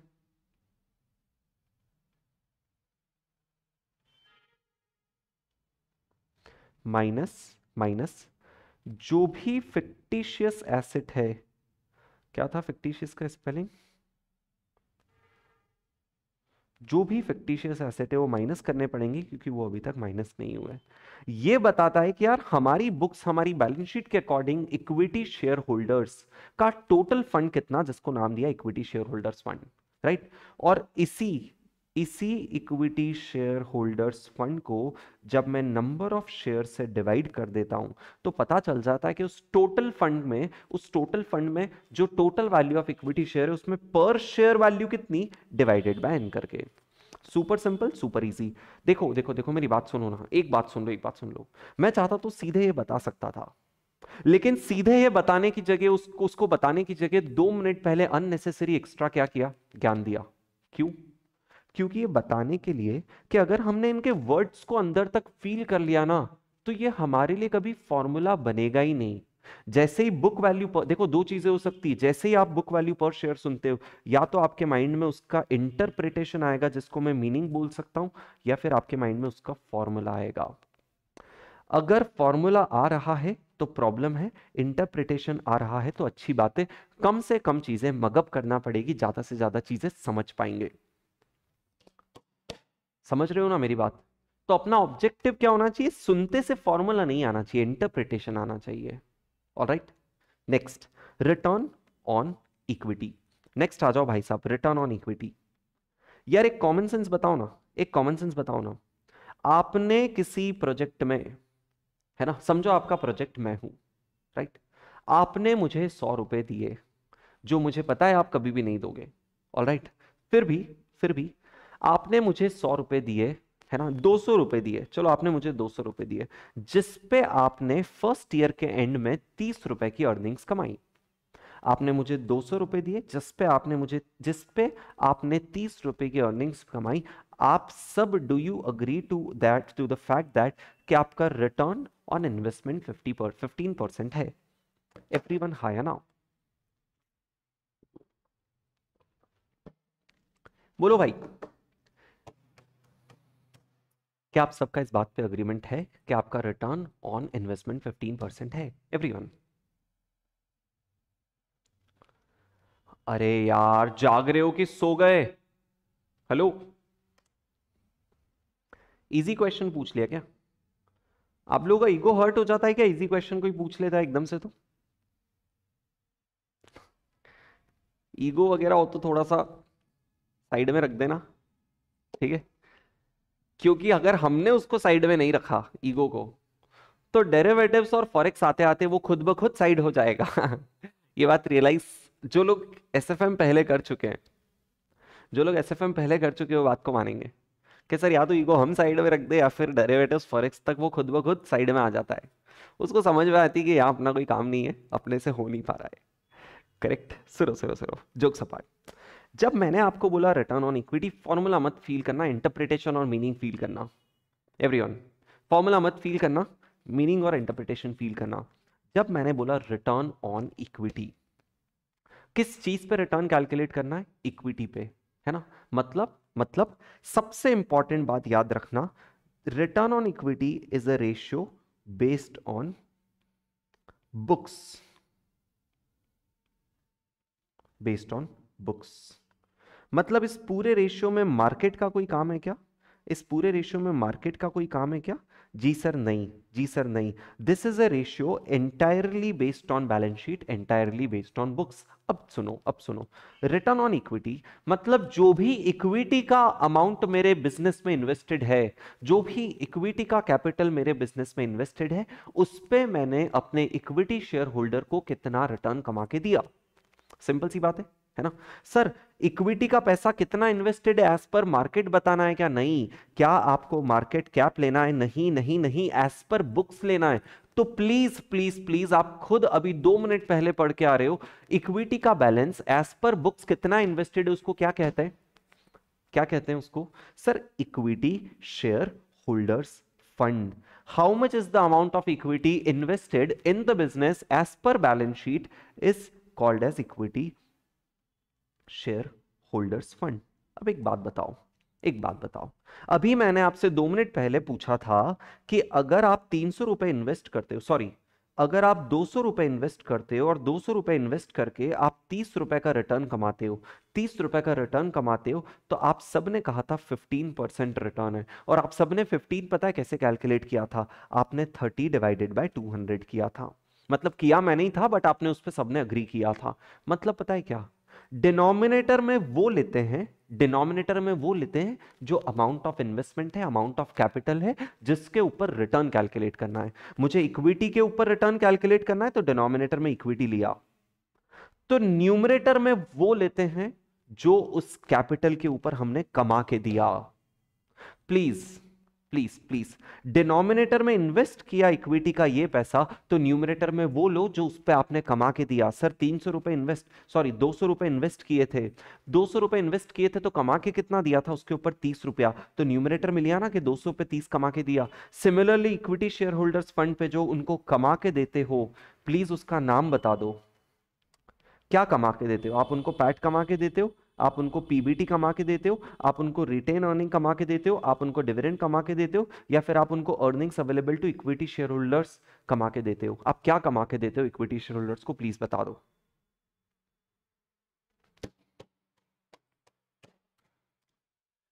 ये सवाल का जवाब जिसने दे दिया ना शायद मैं खुद को कंट्रोल ना कर पाऊं और आप लोगों को एक आधी लाख रुपए ट्रांसफर कर दूं immediate UPI.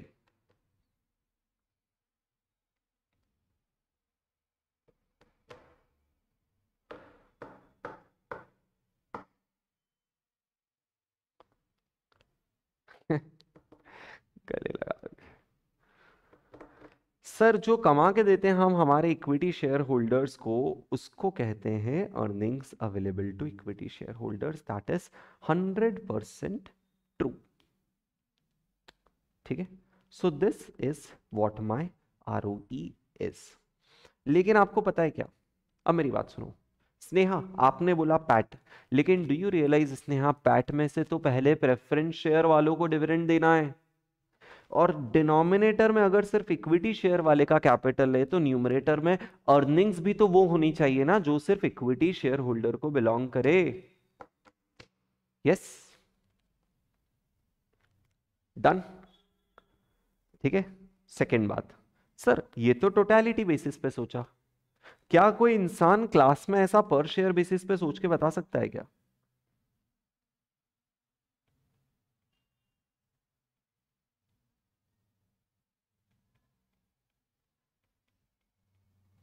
मतलब सर ये जो total amount total amount invested है इक्विटी शेयर होल्डर फंड जो टोटल इन्वेस्टेड है बिजनेस में अगर मैं पर शेयर लेवल पे देखना चाहूँ how much is the amount of equity invested in the business मतलब उसको नंबर ऑफ शेयर से डिवाइड कर दूँ ना तो वो बन जाता है बुक वैल्यू पर शेयर और सर ये जो टोटल अर्निंग्स है उसको भी नंबर ऑफ शेयर मतलब न्यूमरेटर को भी नंबर ऑफ शेयर से डिवाइड कर देता हूँ ना तो वो बन जाता है ई e तो बात तो वही है ये टोटैलिटी हो गया ये पर शेयर हो गया कि पर शेयर लेवल पे इतना लगाया मतलब इतना उनका लगा हुआ है और उसके अगेंस्ट न्यूमरेटर में उनको इतना कमा के दिया both are the both are going to give you the same answer both are the formulas of are done classic तो ठीक है भाई आपको रिटर्न ऑन इक्विटी भी समझ में आ गया book value of per share भी समझ में आ गया अब हमें समझना है different kind of rates of return ठीक है अपनी क्लास में ब्रेक लेने का सिस्टम रखना है क्या बताना भाई अपनी क्लास में ब्रेक लेने का रूल रहेगा क्या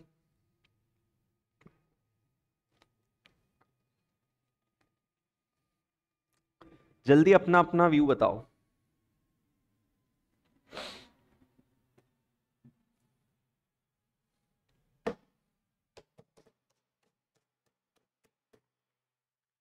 नो ब्रेक नॉट नीडेड अब एक सेकेंड मुझे एक मिनट देखने दो वो अपना एक भाई आया था ना जो ट्वेल्थ की क्लास कर रहा था क्योंकि ट्वेल्थ की क्लास तो फोर्टी मिनट्स की होती है और उसमें भी फिफ्टीन मिनट्स का तो ब्रेक आ जाता है है ना राघव भाई क्या आप हमें सुन पा रहे हो राघव देख रहे हो इन लोगों को आप कि कैसे हो गए ये लोग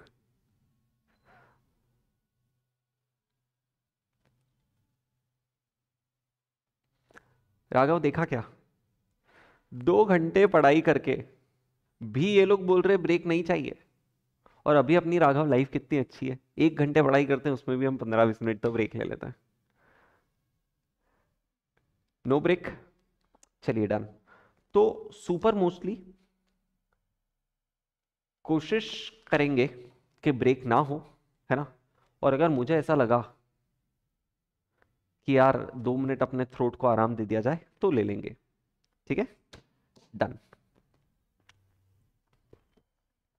ठीक है मुझे अब एक मिनट प्लान करने दो कि अपने को पहले क्या पढ़ना चाहिए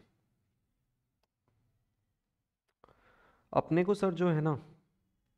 पहले या तो टाइम वैल्यू ऑफ मनी ले ले चलो पहले काम करते हैं टाइम वैल्यू ऑफ मनी ले लेते हैं है ना जो मुझे लगता है टू बी फ्रैंक मुझे लगता है कि ये इतना ज़्यादा बेसिक है कि टाइम वैल्यू ऑफ मनी की तो पढ़ाई हमें नहीं करना चाहिए क्या हम टाइम वैल्यू ऑफ मनी जिसमें लॉजिक्स पर्टिकुलरली नहीं लगाने का मन है डायरेक्टली सिर्फ आपके पास चीज़ें लिखी हुई रहे इसलिए क्विकली सिर्फ सॉल्व करा दू people in the class time value of money quick हमारे पास फ्यूचर रेफरेंस के लिए चीज़ें लिखी हुई रहे इसलिए क्या हम directly time value of money को बस सॉल्व कर ले ज़्यादा समझने में एफर्ट्स नहीं लगाएंगे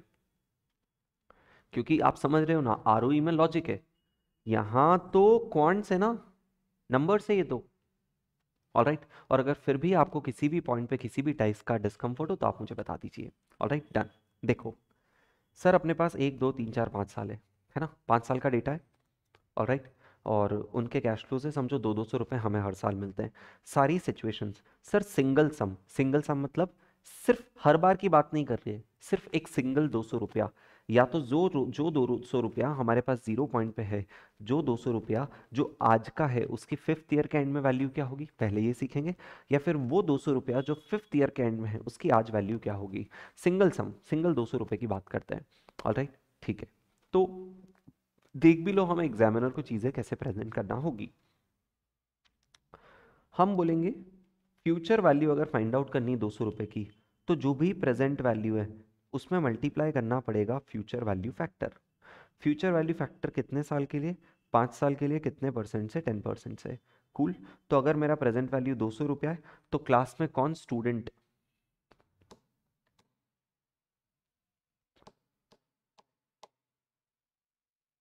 क्लास में कौन स्टूडेंट्स बता पाएंगे future value factor for five year at the rate of ten percent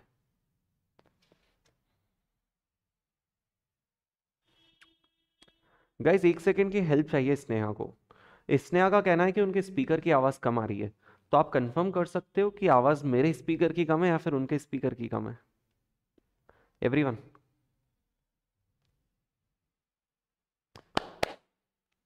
आवाज़ किसके स्पीकर की कम एक बार प्लीज़ कंफर्म कर दीजिए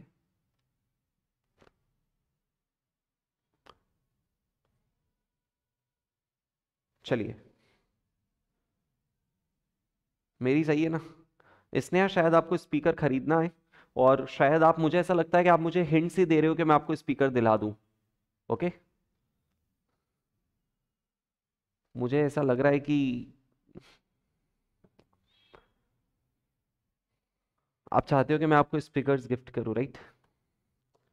सुनो फ्यूचर वैल्यू फैक्टर्स नया ने सोचा स्कीम अच्छी है लैपटॉप बट रहा है फ्री में कभी स्पीकर भी बट जाए है ना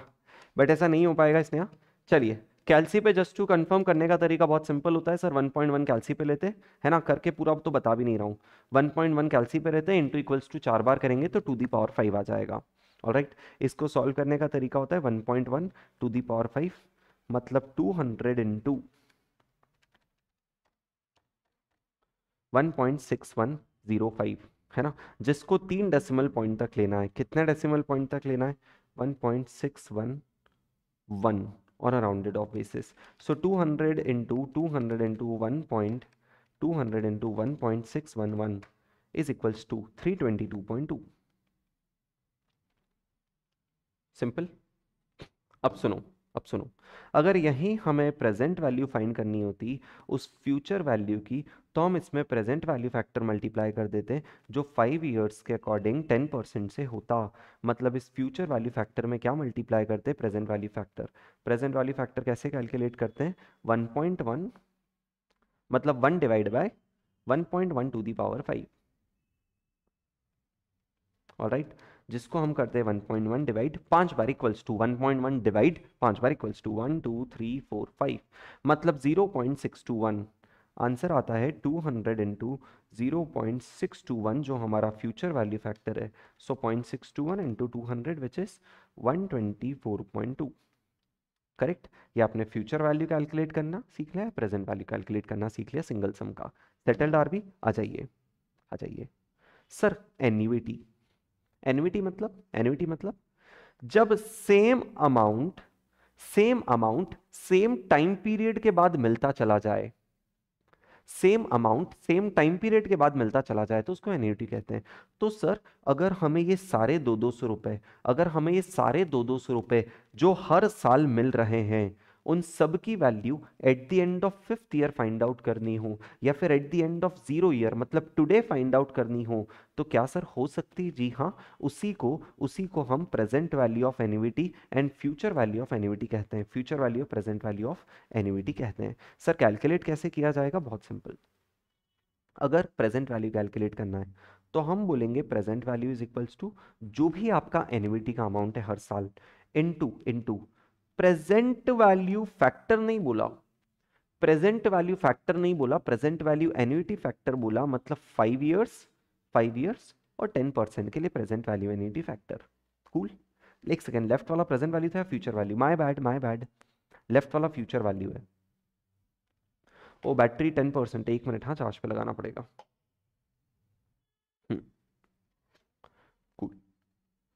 future value is equals to A into future value annuity factor cool और similarly similarly present value will be annuity का amount into present value annuity factor जो हम फाइव ईयर्स के लिए at the rate of ten percent लेंगे all right sir future value annuity factor तो class में हर एक स्टूडेंट को सॉल्व करते आता है जो कैसे हम सॉल्व करते हैं सर सर 1.1 लेंगे कैल्सी पे डिवाइड इक्वल्स टू पांच बार करेंगे मतलब डिवाइड के बाद इक्वल्स टू पांच बार करेंगे one two three four five और सर जी प्रेस कर देंगे तो three point three point seven nine one answer आता है so two hundred into three point seven nine one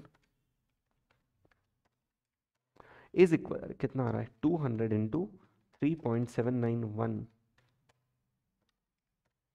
is seven fifty eight point two seven fifty eight point two super duper easy future value annuity factor class में आप लोगों को calculate करते आता है क्या everyone Sumit all come to your thing वो तीन डेसिमल वाली चीज पे आऊंगा future value factor please calculate करके बता दो everyone in the class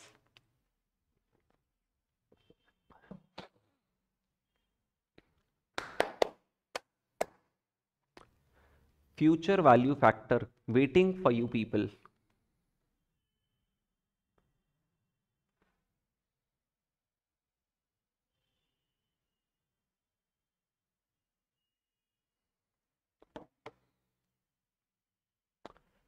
Array, future value factor, everyone. तो मुझे ऐसा लग रहा है मुझे ऐसा लग रहा है फ्यूचर वैल्यू फैक्टर को लेके शायद समझना पड़ेगा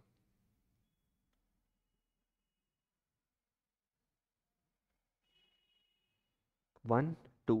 three four five first year second year third year fourth year fifth year तो सर समझना ये पड़ेगा कि जो एक एक एक एक एक रुपया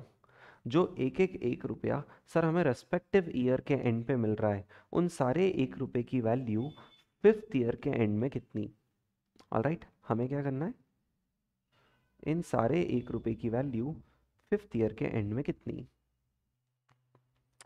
आपका आंसर आ रहा है 6.105 आपका आंसर आ रहा है 6.105 can I also confirm it once है ना और जिन लोगों को करते नहीं आ रहा है जिन लोगों को करते नहीं आ रहा है सर थोड़ा सा यहाँ पे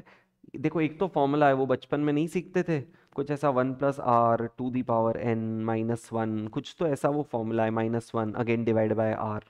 कुछ तो फॉर्मूला है जो मुझे याद नहीं मैं फॉलो भी नहीं करता हूँ जो मैं फॉलो करता हूँ वो ये कॉमन सेंस है ध्यान से देखना जो फिफ्थ ईयर के एंड का एक रुपया है ध्यान से देख लो एक बार सीख लो ताकि इमरजेंसी में ये वाली चीज़ फाइव टू परसेंट यूज़ होने वाली ये वाली चीज़ नाइन्टी एट परसेंट यूज़ में आने वाली है बट उस टू परसेंट के लिए भी हमें ये चीज़ जानना ज़रूरी है ध्यान से सब लोग सीख लो आज एक बार डन ठीक है कूल आ जाइए sir sir first first fifth year के एंड में जो एक रुपया है उसकी वैल्यू फिफ्थ ईयर के एंड में कितनी रहेगी एक ही रहेगी तो वो एक रुपये को लेके आप एम प्लस में डाल दो तो हम क्या करेंगे अपना अप्रोच क्या होने वाला है ये जितने भी एक एक रुपया है उनकी मैन्युअली फ्यूचर वैल्यू कैलकुलेट करेंगे और एम प्लस में डालते चले जाएंगे और बाद में मेमोरी रिकलेक्ट करके देख लेंगे कि सबका टोटल कितना आ रहा है इज दिस अप्रोच क्लियर जितने भी एक एक रुपया है उन सबको उन सबको फ्यूचर वैल्यू करते चले जाएंगे मैन्युअली उनकी फिफ्थ ईयर के एंड में वैल्यू कैलकुलेट करते चले जाएंगे एम प्लस करते जाएंगे और फिर मेमोरी रिकलेक्ट कर देंगे राइट right? तो हमारे पास टोटल फ्यूचर वैल्यू फैक्टर आ जाएगा और right? तो फिफ्थ ईयर के एंड का जो एक रुपया है फिफ्थ ईयर के एंड का एक रुपया है उसकी वैल्यू फिफ्थ ईयर के एंड में कितनी एक ही है तो उसको वन करके एम प्लस डाल दो सर फोर्थ ईयर के एंड में जो एक रुपया है अब ध्यान से सुनना करना मत क्योंकि उसको कैलसी पे करने का शॉर्टकट भी है फोर्थ ईयर के एंड में जो एक रुपया है उसकी वैल्यू फिफ्थ ईयर के एंड में कितनी है फिफ्थ ईयर के एंड में कितनी है sir sir one into one point one एक बार कंपाउंड करेंगे ना वन पॉइंट वन करके करेक्ट ठीक है सर थर्ड ईयर के एंड में जो एक रुपया उसकी फोर्थ फिफ्थ ईयर के एंड में वैल्यू कितनी है sir one point one to the power two to the power two मतलब इसको एक बार कंपाउंड करना है इसको दो बार करना है इस वाले को तीन बार करना है इस वाले को चार बार करना है are you please realizing it sir करेंगे कैसे अब ये देख लो फिफ्थ ईयर के एंड वाले की वैल्यू एक रुपया उसको वन प्लस कर वन करके हम एम प्लस में डाल चुके हैं अब आपको कैलसी पे लेना पड़ेगा 1.1 पहले लेना पड़ेगा 1.1 1.1 क्या है सर 1 प्लस आर है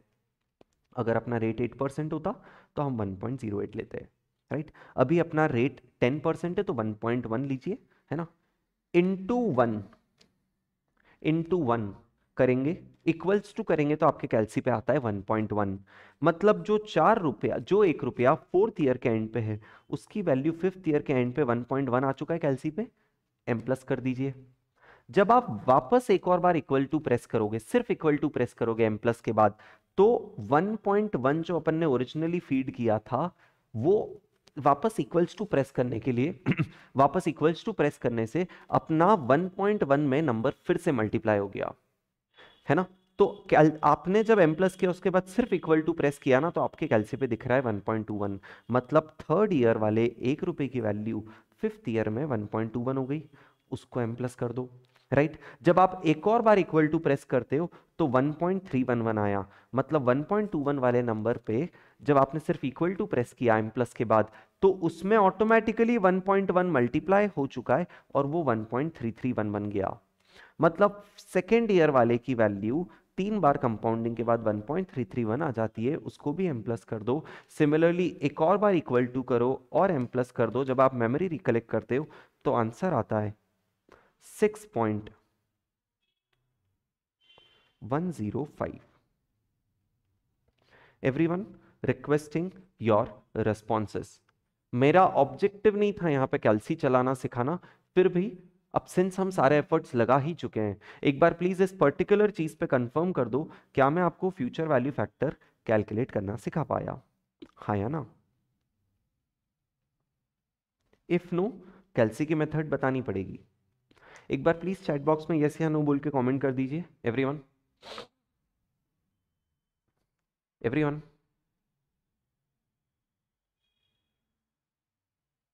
quick quick quick quick quick मुझे हाया ना जानना बहुत ज़रूरी है तो ही मुझे समझ में आएगा क्या हो रहा है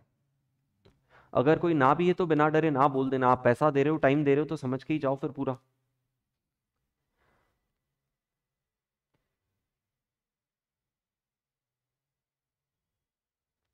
स्नेहा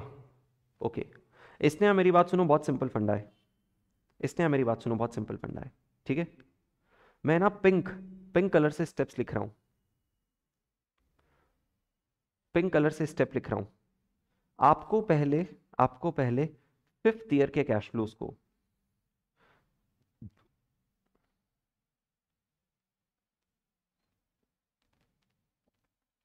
है ना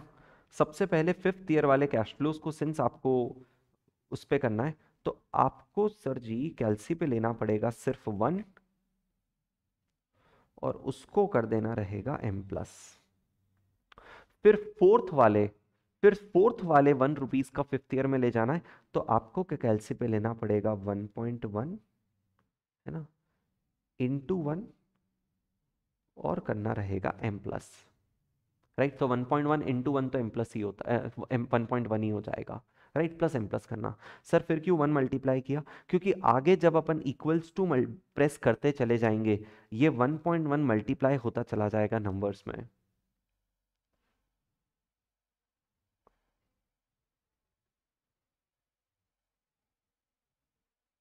ऑल राइट कूल कृति आप लेक्चर तो देख रहे हो लेकिन आप लेक्चर थोड़ा पीछे देख रहे हो क्योंकि अभी कुछ कॉन्टेक्स नहीं चल रहा है बट आपकी चैट में बीच में हमें रैंडमली शेयर होल्डर वर्ड देखने को मिल गया मतलब आप लेक्चर कहीं पीछे देख रहे हो तो आपने शेयर होल्डर वर्ड बोला तो क्लास के बचे हुए लोग अभी कंफ्यूज हो जाएंगे जो लाइव चल रहे हैं ये शेयर होल्डर वर्ड कहाँ से आ गया ठीक है दिस इज फनी जब आप आगे लेक्चर पे आओगे और जब आप सुनोगे कि मैं आपके बारे में ऐसा बोल रहा हूँ तो आपको भी अच्छा लगेगा ठीक है एनीवेज सो देखना 1.1 पॉइंट वन इंटू वन किया एम प्लस किया मतलब चार रुपए की वैल्यू को भी आपने मेमोरी फोर्थ ईयर के एंड वाले एक रुपए को भी आपने मेमोरी में डाल दिया और राइट right? फिर आप सिर्फ इक्वल्स टू भी प्रेस कर दोगे ना तो वो 1.1 में वापस 1.1 मल्टीप्लाई हो जाएगा सिर्फ इक्वल्स टू प्रेस करने से राइट right? और ऑटोमेटिकली आंसर 1.21 आ जाएगा उसको एम प्लस करना फिर इक्वल टू प्रेस करोगे तो वन आएगा उसको एम प्लस कर देना फिर इक्वल टू प्रेस करोगे तो जो भी आंसर आएगा उसको एम प्लस कर देना ये सिंपल प्रोसेस फॉलो करके आप फ्यूचर वैल्यू फैक्टर इस तरीके से फाइंड आउट कर पाओगे डन तो बस आंसर देख लो आंसर देख लो 200 hundred into six point one zero five which is one two two one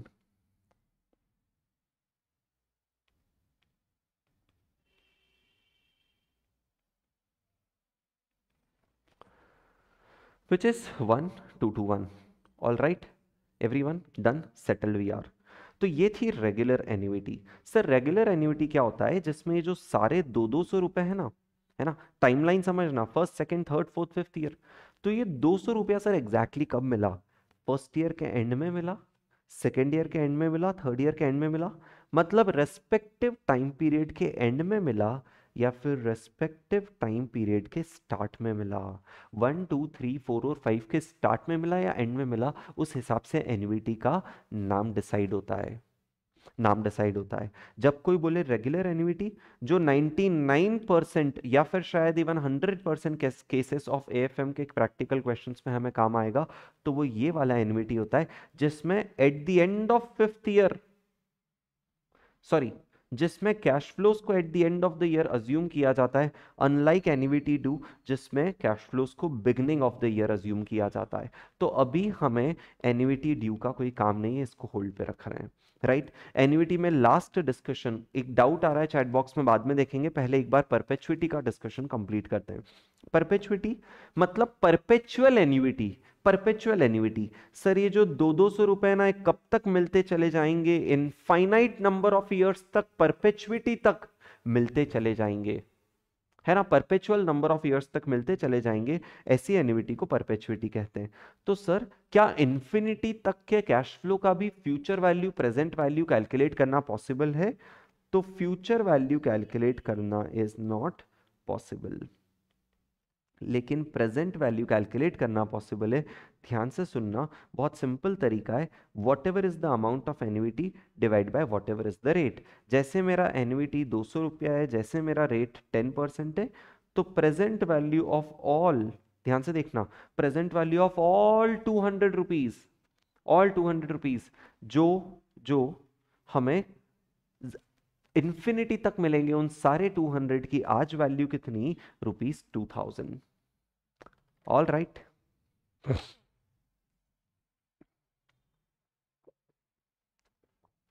cool every one this is what perpetuity is cool अभी एक बात बताइए Sumit this is for constant cash flow at year end but for irregular cash flow any calculated trick नहीं सुमित उसके लिए तो manually calculate करना पड़ेगा ऑल राइट स्माइल क्या पूछ रहे हैं सर सबका पीवी करके सिर्फ 1.1 point one to the power five से भी हो जाएगा ना स्माइल पीवी कैसे कर रहे हो आप बोल रहे हो आप चाह रहे हो कि इन सबको पहले यहाँ पीवी ले आए और फिर उसको पांच बार कंपाउंड कर दे is that what you're saying A stand for annuity A stand for annuity Sumit A stand for annuity लिखा रहेगा ऑल राइट स्माइल एक मिनट हाँ मैं आपके क्वेश्चन का आंसर देता हूँ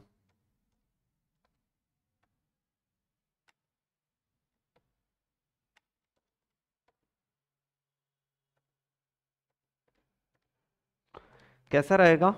करने में कर सकते हो स्माइल करने में कर सकते हो अगर आपको वो तरीका याद नहीं आता है तो फिर प्रेजेंट वैल्यू फैक्टर को पहले पीछे ला फिर उसको पांच बार कंपाउंड भी कर सकते वो भी चल जाएगा ऑल राइट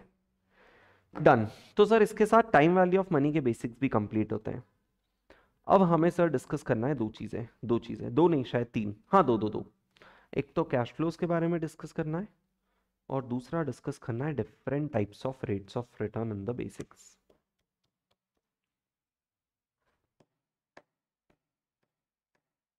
cool cool. तो एक काम करते हैं सबसे पहले सर एक लेते हैं क्विक ब्रेक पांच मिनट का ब्रेक लेना पड़ेगा और राइट फॉर माई थ्रोट हम 8:35 पे वापस मिलेंगे और post which we are going to continue with this topic of different types of rates of return am I clear every one can we all be back by 8:35 बोलिए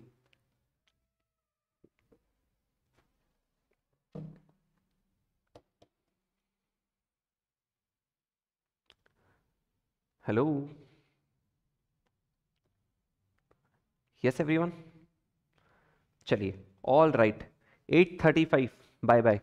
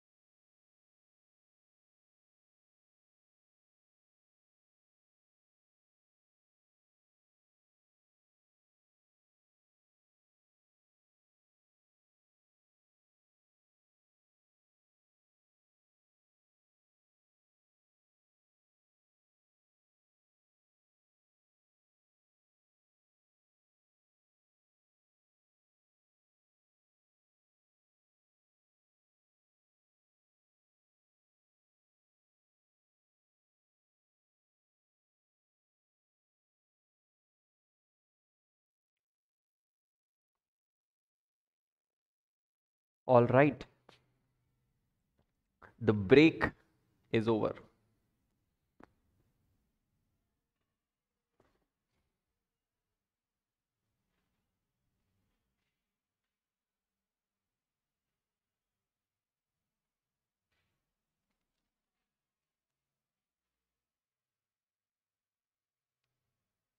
Pradeep अगर मैंने Tata take के बारे में बताया ना तो मुझे नज़र लग जाएगी आप लोगों की पता है मेरे को क्या क्या मिल गया था I R E D A मिल गया था I R E D A ना वो उसका नाम पूरा नाम ऑल दो मुझे इतना लिस्टिंग गेन मुझे लिमिटेड लिस्टिंग गेन ही हो पाया फिफ्टी परसेंट अराउंड का है ना पूरा नहीं हो पाया क्योंकि अभी तो हंड्रेड परसेंट से भी ज़्यादा हो गया I didn't want to take a chance and I thought of selling it और वो भी मिल गया टाटा टेक भी अभी देखते हैं डॉम्स चल रहा है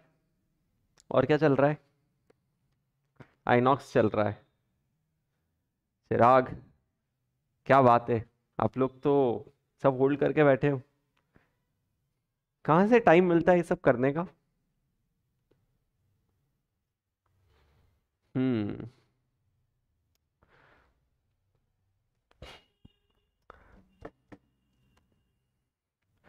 आ जाओ आ जाओ आ जाओ every one in the class Are we back, people? Are we all people in the class? Back? अरे जिंदा हो क्या हेलो यार इसीलिए ब्रेक देने का मन नहीं होता है जाते सब टाइम पे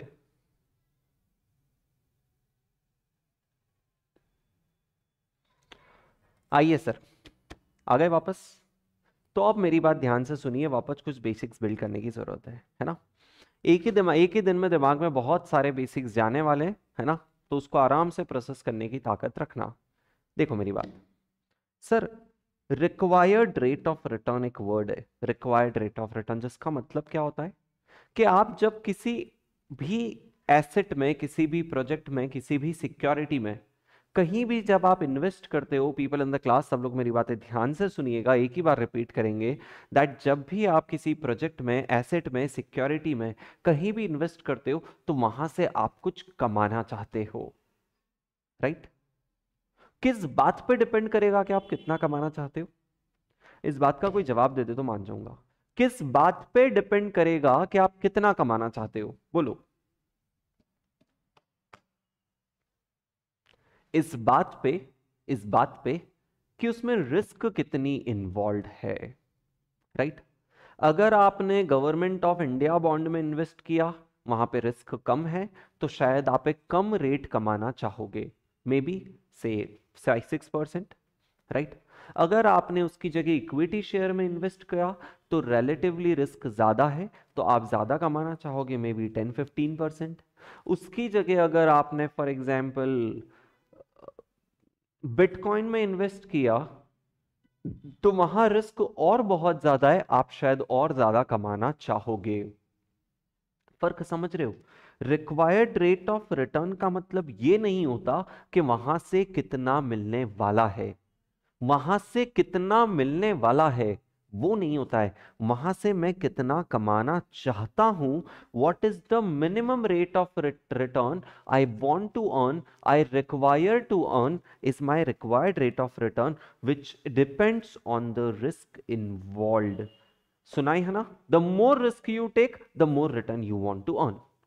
the more risk I take the more return I want to earn hence hence hence required rate of return depends on the risk alright sir required rate of return का यूज क्या है थोड़ा सा detailing बाद में बताऊंगा but it is use as a discounting rate अब आप since F F M S F M सब पहले पढ़ चुके हो तो आपको पता है ना कि कैश फ्लोज को डिस्काउंट करना पड़ता है आपको पता है ना प्रोजेक्ट उधर इंटर में पढ़ के आ रहे हो ना प्रोजेक्ट से जो भी इनफ्लोज आते हैं एनपीवी के लिए डिस्काउंट करते हो तो जब भी डिस्काउंट करते हो for the purpose of discounting which rate of return do you take the required rate of return which depends on the risk all right तो अब सुनिए जो भी आप टोटल रिटर्न कमाना चाहते हो ना that is made up of three parts जो भी आप टोटल रिटर्न कमाना चाहते हो that is people in the class made up of three parts पहला पहला risk free rate of return which is real real risk free rate of return और उसके साथ आप कमाना चाहते हो इन्फ्लेशन प्रीमियम और उसके साथ आप कमाना चाहते हो रिस्क प्रीमियम पूरा समझा रहा हूँ एक मिनट रुकना एक मिनट रुकना है ना इनफैक्ट इसको अलग अलग दे दो जो भी आप टोटल रिटर्न कमाना चाहते हो ना पीपल इन द क्लास उसके तीन कॉम्पोनेंट्स होते हैं तीन कॉम्पोनेंट्स होते हैं पहले कॉम्पोनेंट को आप बोलते हो real risk free rate of return दूसरे कंपोनेंट को आप बोलते हो इन्फ्लेशन प्रीमियम तीसरे कंपोनेंट को बोलते हो रिस्क प्रीमियम अब सर ये क्या चल रहा है वर्ड्स मेरी बात ध्यान से सुनिए ध्यान से सुनिए एक एग्जाम्पल लेने दो क्योंकि अननेसेसरी इसमें ज़्यादा घुसना भी नहीं है मुझे बट ऊपर से उड़ा भी नहीं सकता हूं क्योंकि कॉन्सेप्ट काम तो आएगा आगे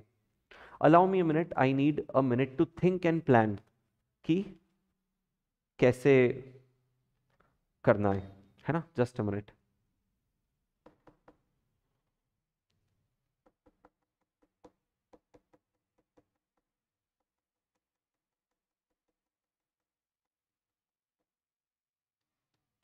पहले एक तरीका ट्राई कर रहा हूं छोटा वाला पहले एक छोटा वाला तरीका ट्राई कर रहा हूं अगर उस छोटे वाले तरीके से आ गया तो मेरी लाइफ आसान हो जाएगी अगर नहीं आया तो फिर समझाएंगे बड़े तरीके से सुनो सुनो जब आप जब आप गवर्नमेंट ऑफ इंडिया बॉन्ड में इन्वेस्ट करते हो तो government of India bond normally है ना theoretically at least risk free security मानी जाती है हम मानते हैं कि यार गवर्नमेंट में क्या रिस्क है गवर्नमेंट से अगर पैसा देने का नहीं भी बना तो गवर्नमेंट के पास तो नोट छापने की मशीन है गवर्नमेंट तो नोट छापेगी और अपना डेट रीपे कर देगी राइट तो गवर्नमेंट बॉन्ड में जब भी आप इन्वेस्ट करते हो तो और वहां से जो रेट ऑफ रिटर्न आपको मिलता है उसको कहते हैं risk free rate of return risk free rate of return correct मतलब मतलब कौन सा वाला ये वाला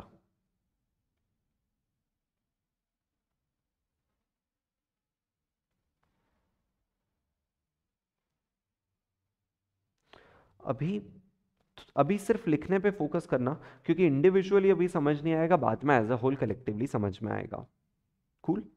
तो गवर्नमेंट ऑफ इंडिया बॉन्ड में इन्वेस्ट करके जो रेट ऑफ रिटर्न हमें मिलता है उसको आपने कहा nominal risk free rate of return correct लेकिन एक बात इमेजिन करो एक बात इमेजिन करो आपके पास सौ रुपया था आपने गवर्नमेंट ऑफ इंडिया बॉन्ड में सौ रुपया इन्वेस्ट किया अब एक्चुअल में आप क्या करने जा रहे थे ऐसे इमेजिन करो कि आप एक एलसी खरीदने जा रहे थे है ना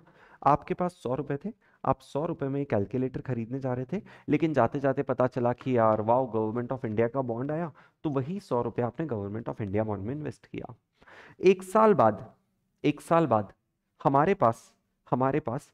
गवर्नमेंट ऑफ इंडिया बॉन्ड से वन हंड्रेड एंड सेवन रुपया आया तो आपने बोला कि यार गवर्नमेंट ऑफ इंडिया बॉन्ड की वजह से मेरा एक साल अटेम्प्ट डिले हो चुका है करेक्ट अब कैलसी था नहीं तो हम एग्जाम दे नहीं पाए राइट तो अब वो कैलसी हम एक साल बाद लेने गए मार्केट में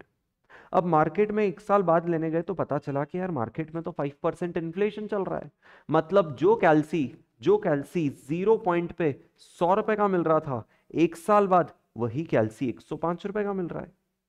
सेम कैलसी एक सौ पांच रुपए का मिल रहा है पांच परसेंट क्या है इन्फ्लेशन सेवन परसेंट क्या था गवर्नमेंट ऑफ इंडिया बॉन्ड का रिटर्न तो जो रिटर्न आपको गवर्नमेंट ऑफ इंडिया बॉन्ड पे मिलता है जिसको हम रिस्क फ्री रेट कहते हैं उस पूरे रिस्क फ्री रेट के आगे एक और वर्ड लगा सकते हो जिसका मतलब होता है नॉमिनल रिस्क फ्री रेट मतलब आपके actual world actual world around में जो भी आपको रेट ऑफ रिटर्न मिलता है उसको हम नॉमिनल रेट ही कहते हैं नॉमिनल रेट ऑफ रिटर्न मतलब actual return around me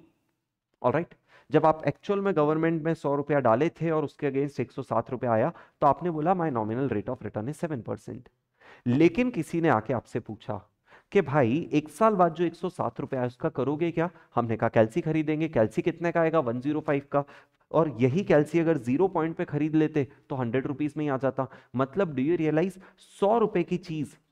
सौ रुपए की चीज खरीदने जाएंगे तो 105 में खरीद पाएंगे और पॉकेट में तो सिर्फ दो ही रुपया बचेगा पॉकेट में तो सिर्फ दो ही रुपया बचेगा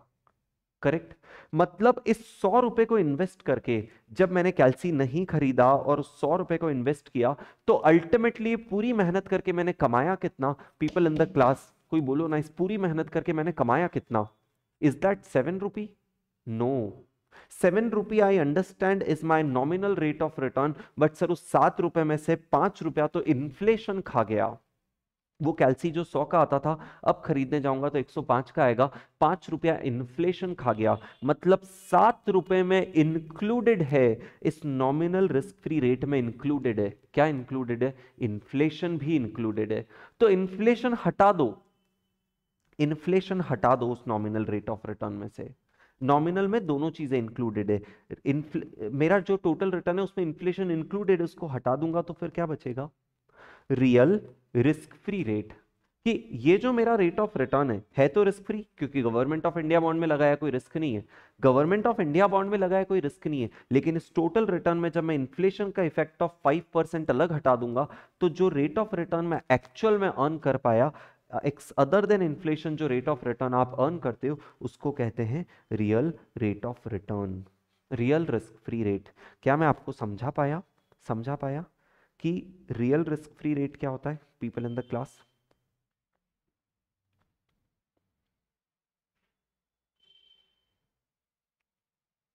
table नहीं समझेगी अभी सिर्फ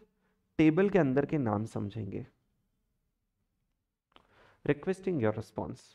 मतलब रियल रिस्क फ्री रेट मतलब जो भी मार्केट में नॉमिनल रेट है उसमें से अगर इन्फ्लेशन का इफेक्ट हटा दो तो रियल रिस्क फ्री रेट बनता है कूल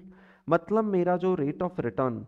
बिना रिस्क लिए मार्केट में जो मैं रेट ऑफ रिटर्न कमा पाता हूं उसको नॉमिनल रिस्क फ्री रेट कहते हैं जिसमें रियल रिस्क फ्री रेट है है ना विदाउट इन्फ्लेशन और इन्फ्लेशन की वजह से इन्फ्लेशन प्रीमियम भी है करेक्ट तो फॉर सिंप्लिसिटी है ना एक्चुअल में ऐसा नहीं होता है but for the purpose of F हम मान लेते हैं कि ठीक है भाई दो रुपया हमें एक्चुअल हमारी कमाई हुई सौ रुपया लगा के जो एक्चुअल में हमने कमाया अदर देन इन्फ्लेशन वो दो रुपया है और मार्केट में इन्फ्लेशन पांच रुपया था तो पांच रुपया वो भी कमाया हमने करेक्ट ठीक है अब सात रुपया तो हम कमाते भाई जब रिस्क ना हो जब कोई रिस्क नहीं होती है ना सात रुपया तो हम तब कमाते हैं और अगर रिस्क लेंगे तो उस रिस्क लेने की वजह से एक्स्ट्रा रिटर्न कमाने की कोशिश नहीं करोगे रिक्वायर्ड रेट ऑफ रिटर्न का तो लॉजिक ही यही होता है ना the more risk you take the more return you would want to earn तो for extra risk you take देखो बिना रिस्क लिए भी साथ मिल रहा था बिना रिस्क लिए भी साथ मिल रहा है तो आप बोलोगे रिस्क लेंगे ना तो तीन परसेंट और कमाना चाहेंगे तो थ्री परसेंट थ्री परसेंट को क्या कहते हैं रिस्क प्रीमियम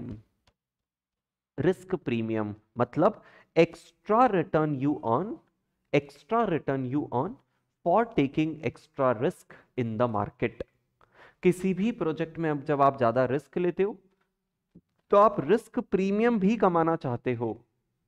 इसीलिए आपका रिक्वायर्ड रेट ऑफ रिटर्न बढ़ जाता है वो जो हम बोल रहे थे ना the more risk you take the more return you want तो वो रिटर्न क्यों ज़्यादा आ रहा है क्योंकि रिस्क प्रीमियम बढ़ता चला जा रहा है मतलब क्या सर जब हम रिस्क फ्री जगह इन्वेस्ट करेंगे मतलब वो गवर्नमेंट ऑफ इंडिया बॉन्ड के जब हमारे कैश फ्लोज रिस्क फ्री होंगे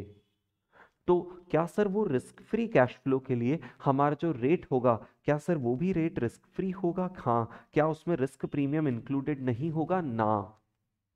अब ये रियल नॉमिनल छोड़ो रियल नॉमिनल छोड़ो बट रिस्क फ्री पे फोकस करके इतना समझ पाए क्या है ना तो एक सिंपल लॉजिक अब समझना अब समझना कैश फ्लोज जब आप डिस्काउंट करते हो देखो रिक्वायर्ड रेट ऑफ रिटर्न का यूज क्या होता है सर कैश फ्लोस को डिस्काउंट करना कॉन्सेप्चुअल क्लैरिटी ले लो फाइनल है मतलब मजा आ जाएगा this is the final conceptual clarity ले लो कैश फ्लो को डिस्काउंट करने के लिए रिक्वायर्ड रेट ऑफ रिटर्न लगते हैं और आपको पता है क्या जैसा मेरा कैश फ्लो होगा जैसा मेरा कैश फ्लो होगा उसको डिस्काउंट करने के लिए वैसा ही मेरा डिस्काउंटिंग रेट होगा जब रिस्क नहीं है जब रिस्क नहीं है तो रेट भी रिस्क फ्री होगा लेकिन जब रिस्क है जब रिस्क है कैश फ्लोज में कैश फ्लो में सर्टन नहीं है पता नहीं कितना रिटर्न मिलेगा ज़्यादा भी मिल सकता है कम भी मिल सकता है तो जब रिस्क होगी ना तो हम वो रेट लेंगे जिस रेट में रिस्क प्रीमियम इन्वॉल्व हो रिस्क प्रीमियम इन्वॉल्व हो तो अब देखना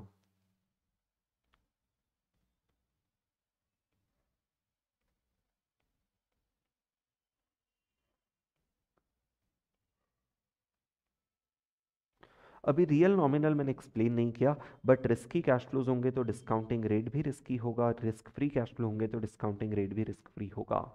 मतलब मतलब एक लास्ट बात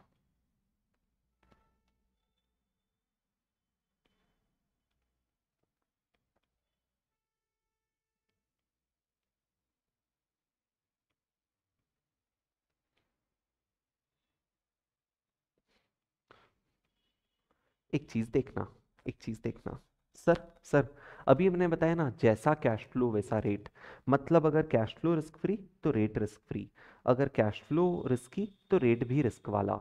मतलब जिसमें रिस्क प्रीमियम इन्वॉल्व हो क्योंकि रिस्क लेंगे तो ज़्यादा कमाना चाहेंगे और ज़्यादा कमाना चाहेंगे तो risk required rate of return में हमारा रिस्क प्रीमियम इन्वॉल्व हो जाएगा अब इसका एक और पर्सपेक्टिव समझना एक और पर्सपेक्टिव समझना आपके कैश फ्लोज दो टाइप के हो सकते हैं पहला होता है रियल कैश फ्लो दूसरा होता है नॉमिनल कैश फ्लो है ना मैं एक्सप्लेन करके बताता हूँ concept of real cash flow versus the concept of nominal cash flow right जैसे हम बोले हम बोले कि यार मैं मैं एक बिजनेस स्टार्ट करना चाह रहा हूँ जिसमें मैं कैलकुलेटर कैलकुलेटर बना बना के बेचने वाला हूँ people in the class calculator बना के बेचने वाला हूँ तो मेरा ऐसा प्लान है फर्स्ट ईयर मेरी डिमांड कम रहेगी मेरा प्रोडक्शन भी कम रहेगा तो फर्स्ट ईयर में कैल हंड्रेड नंबर ऑफ कैलसी बनाऊंगा नंबर ऑफ कैलसी सेकेंड ईयर मैं टू हंड्रेड बनाऊंगा थर्ड ईयर में टू फिफ्टी बनाऊंगा ये मेरा प्लान है करेक्ट फिर मैंने सोचा कि अकॉर्डिंगली मैं कैल्सी बेचूंगा किस में तो फॉर एग्जाम्पल आज कैल्सी का प्राइस है रुपीज़ फिफ्टी है ना और अकॉर्डिंगली अकॉर्डिंगली अगर मैं सिर्फ रुपीज़ फिफ्टी का प्राइस कंसिडर करूँ तो मेरा सर रेवेन्यू मेरा revenue of year one two and three क्या हो जाएगा एक बार प्लीज़ ध्यान से बताइए सर फर्स्ट ईयर का रेवेन्यू हो जाएगा फाइव थाउजेंड सेकेंड ईयर का रेवेन्यू हो जाएगा sir ten thousand third year का रेवेन्यू हो जाएगा uh, 12,500. Do you realize? For calculating future revenue, मैंने revenue का जो भी increase है in that I have considered the change in quantity. But I have, I have not considered, not considered change in price. और change in price को ही तो मेरे भाई inflation कहते हैं चेंज इन प्राइस को तो को ही तो इन्फ्लेशन कहते हैं मतलब मुझे फ्यूचर में कितना रेवेन्यू आएगा मैंने उस केस में कैलसी की वो प्राइस ली जो उन रेस्पेक्टिव ईयर्स में होने वाली है या फिर वो प्राइस ली जो आज है पीपल इन द क्लास आज कैलसी का प्राइस मार्केट में रुपीज फिफ्टी था तो मैंने विदाउट कंसिडरिंग इन्फ्लेशन एक कैलकुलेशन करने की कोशिश की कि अगर प्राइस सेम रहता है अगर मैं इन्फ्लेशन का इफेक्ट इग्नोर कर दूं तो फिर तो फिर मेरे रेवेन्यूज कितने होंगे तो मैंने बोला कि कैलसी का प्राइस 50 50 50 ही मान लेते हैं और रेवेन्यू एस्टिमेट करने की कोशिश करते हैं पीपल क्या आप समझ पाए मैंने क्या किया तो वो कैश फ्लोज पहले तो please please please chat box में हाया ना बोल के बताइए कि आप समझ पाए मैंने क्या किया मैंने आने वाले फ्यूचर जो भी मेरे कैश फ्लोज होंगे उसमें वो कैश फ्लोज नहीं लिए जो एक्चुअल में वो होंगे क्योंकि एक्चुअल में तो हो सकता है सर कैल्सी का प्राइस 55 हो जाए 60 हो जाए 65 हो जाए आई डोंट नो हर साल कुछ ना कुछ इन्फ्लेशन तो होगा बट क्या मैंने वो इन्फ्लेशन इग्नोर कर दिया यस इग्नोर्ड एवरी तो वो कैश फ्लोज वो कैश फ्लोज जिसमें मैं फ्यूचर में आने वाले कैश फ्लोज में इन्फ्लेशन का इफेक्ट इंक्लूड नहीं करता हूं आज जो प्राइस है उसी प्राइस के बेसिस पे फ्यूचर कैश फ्लोज का कैलकुलेशन कर देता हूं उन कैश फ्लोज को पता है क्या कहते हैं उन कैश फ्लोज को पता है क्या कहते हैं real cash flows real cash flows does not include removed from them they does not include the effect of inflation where as where as अगर यही calculation people in the class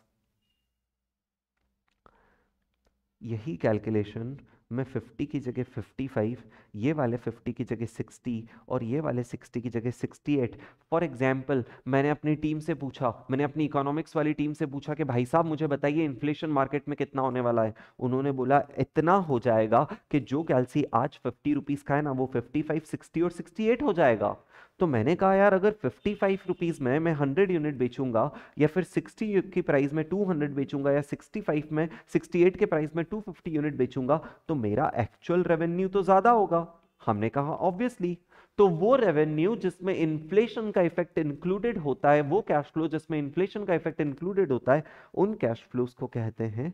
nominal cash flows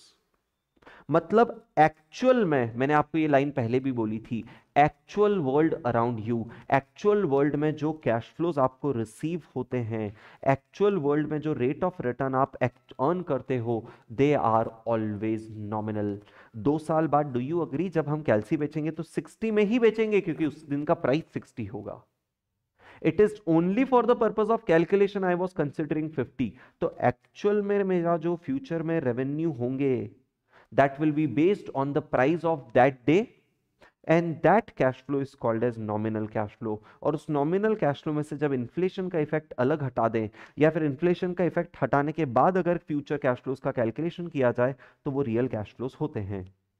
comfort discomfort people in the class I want just a final yes और no literally every from every one of you मुझे बताओ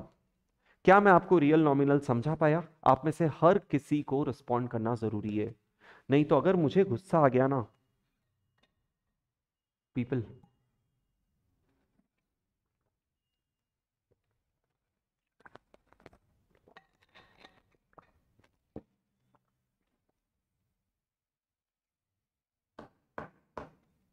बोलो भाई set है everyone set are we all are we all set तो अगर आप इस चीज को लेकर सेट हो तो एक बात समझो एक बात समझो जैसे कैश फ्लोज वैसा रेट सिंपल बात कैश फ्लो रिस्की थे तो रेट रिस्की था कैश फ्लो रिस्की थे तो रेट रिस्की था सिमिलरली सिमिलरली कैश फ्लोज अगर नॉमिनल है कैश फ्लोज अगर नॉमिनल है मतलब वो कैश फ्लो वो फ्यूचर कैश फ्लोज जिसमें इन्फ्लेशन का इफेक्ट इंक्लूडेड है कैश फ्लोज बड़े होकर आए हैं क्योंकि इन्फ्लेशन का इफेक्ट इंक्लूडेड है कॉमन सेंस लगा के बताना उन कैश फ्लो को डिस्काउंट करोगे तो डू यू अग्री डिस्काउंटिंग के लिए रेट भी बोलोगे जिसमें इन्फ्लेशन का इफेक्ट इंक्लूडेड होगा जब कैश फ्लोज बड़े हुए होकर आए बिकॉज ऑफ इन्फ्लेशन तो रेट भी तो वो लो रेट भी तो वो लो जिसमें इन्फ्लेशन का इफेक्ट इंक्लूडेड होगा मतलब अगर कैश फ्लोज नॉमिनल ना तो रेट भी नॉमिनल कैश फ्लोज नॉमिनल तो रेट भी नॉमिनल और कॉमन सेंस बताना अगर कैश फ्लो रियल मतलब कैश फ्लो रियल मतलब कैश फ्लो में इन्फ्लेशन का इफेक्ट इंक्लूडेड नहीं है सर सिर्फ 50 50 50 के हिसाब से कैलकुलेशन किया तो उन कैश फ्लोज को डिस्काउंट करोगे तो रेट में भी फिर इन्फ्लेशन इंक्लूड मत करना सिर्फ रियल रेट ले, लेना सिर्फ रियल रेट लेना क्योंकि कैश फ्लो भी रियल है मतलब मतलब in conclusion real cash flow अगर रिस्क फ्री है तो रेट रियल रिस्क फ्री होगा नॉमिनल कैश फ्लो अगर रिस्क फ्री है तो रेट नॉमिनल रिस्क फ्री होगा राइट right? अगर रियल कैश फ्लो रिस्की है है देखो इन्फ्लेशन का इफेक्ट नहीं है इन्फ्लेशन का इफेक्ट नहीं है पर सर जिस प्रोजेक्ट में हमने इन्वेस्ट किया है वो कैलकुलेटर मैन्युफैक्चरिंग वाले प्रोजेक्ट में रिस्क है सर कभी मार्केट में कभी मार्केट में हमारा कॉम्पिटेटर्स आ गए तो और हमारा कैल्सी किसी ने खरीदा नहीं तो तो कैश फ्लो रियल नहीं है सर फिफ्टी फिफ्टी फिफ्टी लिए लेकिन रिस्क तो है तो रिस्की रियल रिस्की रेट है और सर अगर कैश फ्लोज नॉमिनल रही है 50, 55, 60 और रिस्क भी इन्वॉल्व है तो नॉमिनल रिस्की रेट क्या मैं आपको कैश फ्लो और रेट के बीच का वो रिलेशनशिप आपके दिमाग में डेवलप कर पाया हा या ना बोलो भाई बोलो भाई कर पाया या नहीं कर पाया आज फैसला हो ही जाए क्या आप चाहते हो क्या कि आपको आपकी फीस का रिफंड मिले क्योंकि आपको लेक्चर में मजा नहीं आ रहा है अगर आप ऐसा चाहते हो तो प्लीज फिर भी रिफंड मत मांगो इसमें मेरा बहुत नुकसान हो जाएगा सुमित कंट्री रिस्क पे अभी बात नहीं करते है ना क्योंकि कंट्री रिस्क में ये मैटर ही नहीं करता है कि आपका कैश फ्लो रियल है नॉमिनल है रिस्क या रिस्क फ्री है कंट्री रिस्क सब में है क्योंकि आप किसी कंट्री में ही काम करोगे गवर्नमेंट में ही इन्वेस्ट अभी मत जाओ यार सबको डिस्ट्रैक्ट करेगा राइट या आप यस किस बात पे बोल रहे हो रिफंड वाली बात पे बोल रहे हो या फिर समझ में आ रहा है सब कुछ उस बात पे बोल रहे हो दिस इज क्वाइट कन्फ्यूजिंग ठीक है मेरी बात सुनो sir real risk free rate real risk free rate कैसे कैलकुलेट होता है सर सिर्फ वन लेने का सिर्फ वन लेने का है ना क्योंकि रियल और risk free sir nominal risk free rate कैसे कैलकुलेट होता है नॉमिनल मतलब इन्फ्लेशन इंक्लूड करना बट रिस्क फ्री है मतलब रिस्क प्रीमियम मत लेना रिस्क प्रीमियम मत लेना मतलब वन ले लेना और टू भी ले लेना मतलब वन प्लस टू एड करोगे ना तो नॉमिनल रिस्क फ्री रेट आ जाएगा सिमिलरली सर अगर रियल रिस्की रेट लेना हो तो इन्फ्लेशन का इफेक्ट मत लेना रियल लेना लेकिन रिस्की ले लेना सर वन प्लस थ्री और सर नॉमिनल ध्यान से देखना नॉमिनल एक सेकेंड नॉमिनल भी लेना है मतलब इन्फ्लेशन प्रीमियम लेना है और रिस्की भी है मतलब रिस्क प्रीमियम भी कमाना चाहेंगे कैश फ्लो नॉमिनल है मतलब इन्फ्लेशन प्रीमियम कमाना चाहेंगे और कैश फ्लो रिस्की भी है मतलब रिस्क प्रीमियम भी कमाना चाहेंगे तो रियल तो हम कमाते ही है ना इरिस्पेक्टिव यार बिना कुछ किए ध्यान से देखना मेरा लास्ट वर्ड सुन लो जब इन्फ्लेशन रिस्क ना हो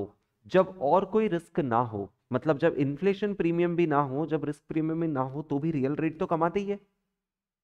रियल रेट तो इरिस्पेक्टिव लेना ही लेना है कमाना चाहेंगे ही अगर इन्फ्लेशन प्रीमियम है नॉमिनल कैश फ्लो से मतलब इन्फ्लेशन का इफेक्ट इंक्लूडेड है मतलब इन्फ्लेशन मतलब प्रीमियम भी कमाना चाहेंगे और रिस्क है तो रिस्क प्रीमियम भी कमाना चाहेंगे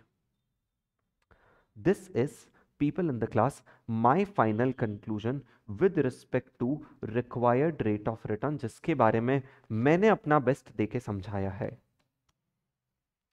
वन ओ माई गॉड पता ही नहीं चला यार दो घंटे कब हो गए कितने अच्छे स्टूडेंट्स हैं यार मेरे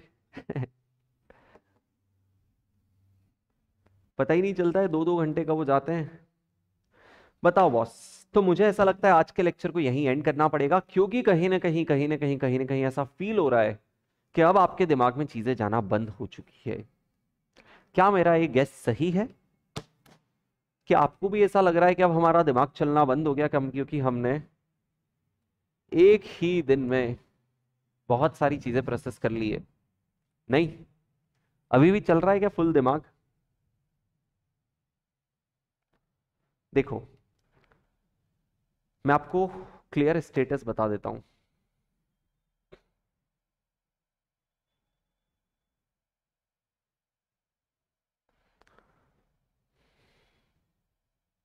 इसने यहां कोई शॉर्टकट नहीं है फ्यूचर वैल्यू फैक्टर का कोई शॉर्टकट नहीं है अब देखो थ्री आवर्स वाले जो लोग बोल रहे हैं मैं अभी बता दूं स्टार्टिंग में तो टू आवर्स ही रहने वाला है I will try to make it three hours I am not committing it I understand मतलब मुझे भी वो सेम फीलिंग है कि यार जल्दी से जल्दी चीज़ कंप्लीट हो तो आपको भी स्पेस मिलेगा है ना I am not committing but I will try to make it three hours done मुझे एक मिनट देना five into four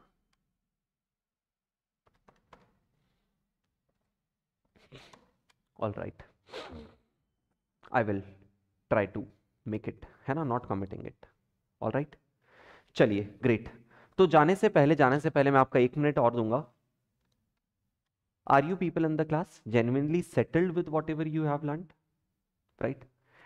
आपको मतलब यहां आके अगर वैल्यू एडिशन फील नहीं हुआ आपको अगर ऐसा फील नहीं हुआ कि सर कॉन्सेप्चुअल क्लैरिटीज जो मिसिंग थी वो मिली तो मेरा पर्पस मज़ा नहीं आएगा सॉल्व नहीं होगा how much would you rate to the conceptual clarities और फेयर आंसर देना अगर थ्री आउट ऑफ टेन है ना तो थ्री आउट ऑफ टेन ही बोलना अननेसेसरी अच्छा बनने के लिए नाइन आउट ऑफ टेन नहीं बोलने का पीपल होमवर्क देंगे सुमित बहुत कुछ होने वाला है अभी ये तो समझो आज स्टार्टिंग है everyone genuine reviews genuine feedback of all of you are needed अगर कोई नेगेटिव फीडबैक है ना तो प्लीज़ बोल भी सकते हो अगर आपको कोई चीज़ कम समझ में आई है तो बोल सकते हो कि सर ये चीज़ फिर से समझा दीजिए if you are not comfortable with anything language और स्पीड और anything you will have to speak up we have a chance to make it Sneha six out of ten highly appreciable आपको क्या चीज़ें समझ नहीं आ रही आपको प्लीज़ बताना पड़ेगा ठीक है first of all I understand you are a first time S F M doer तो एक दिन में आपको बहुत सारी चीज़ें प्रोसेस करना है दिस इज ट्रू अश्विनी माहौल मत बनाओ सुमित माहौल मत बनाओ टेन वाले लोग Chandni great at any point Chandni if you feel something is lacking आप मुझे प्लीज अप अपफ्रंट होकर बता सकते हो अपनी क्लास का माहौल बहुत चिल है all right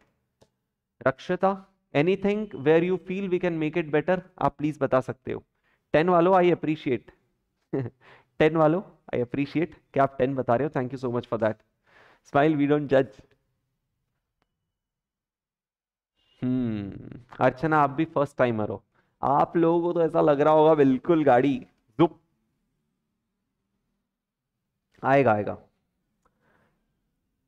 B there first timer देखो जितनी भी कम रेटिंग्स मिल रही है ना स्पेशली फर्स्ट टाइमर से when you are rating me nine out of ten थोड़ा सा इस आपको शायद फ्लो आने में लगेगा Prerna Anish Pawan at any point अगर आपको लग रहा है कि sir this is what was actually lacking जिसकी वजह से हम टेन नहीं कर पाए तो आप बता सकते हो I be more than happy to improve और राइट हो case so those who want to leave you people may actually leave it is all fine है ना thank you so much for attending live I would request आप रोज live रहिए और इसी एनर्जी के साथ रहिए और इसी लेवल का इंट्रैक्शन रखिए हमें पता भी नहीं चलेगा एफ एम कब कंप्लीट हो जाएगा all right those who want to be here obviously you can be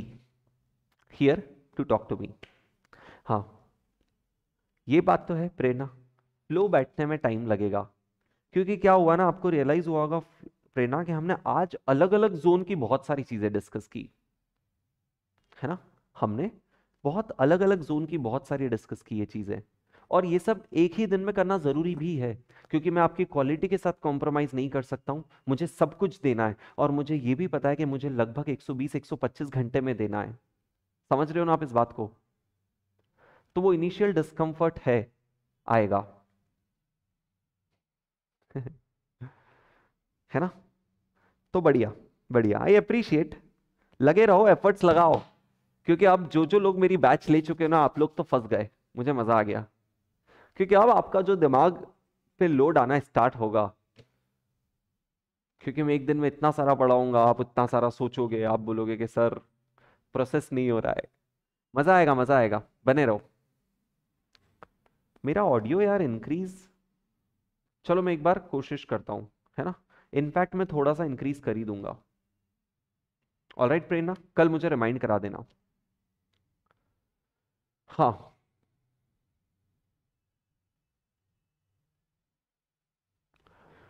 अर्चना अर्चना आपका अटेम्प्ट कब है ये बताइए अर्चना आपका अटेम्प्ट कब है ये बताइए all right those want to leave आप जा सकते हो हाँ जो लोग रुके हैं मैं उनसे बात करना चाह रहा हूँ and thank you so much वापस आना मंडे को मिलेंगे ऑडियो बहुत डाउन है ना अर्चना आपका अटेम्प्ट मे ट्वेंटी फोर है तो अर्चना देखो जहां हम खड़े हैं ना जेनुअन जेनुअन एडवाइस दे रहा हूँ आपके लिए सबसे लॉजिकल सबसे अप्रोप्रिएट क्या होता है सर एक रेगुलर बैच करेक्ट बट जहां आज आप खड़े हो आप शायद अब रेगुलर बैच लेने में कहीं ना कहीं डर रहे हो ऑब्वियसली ना जो भी लोग फर्स्ट टाइम एस कर रहे हैं मे ट्वेंटी फोर के लिए आपको मन में कहीं ना कहीं डर है कि सर अब रेगुलर बैच कैसे करें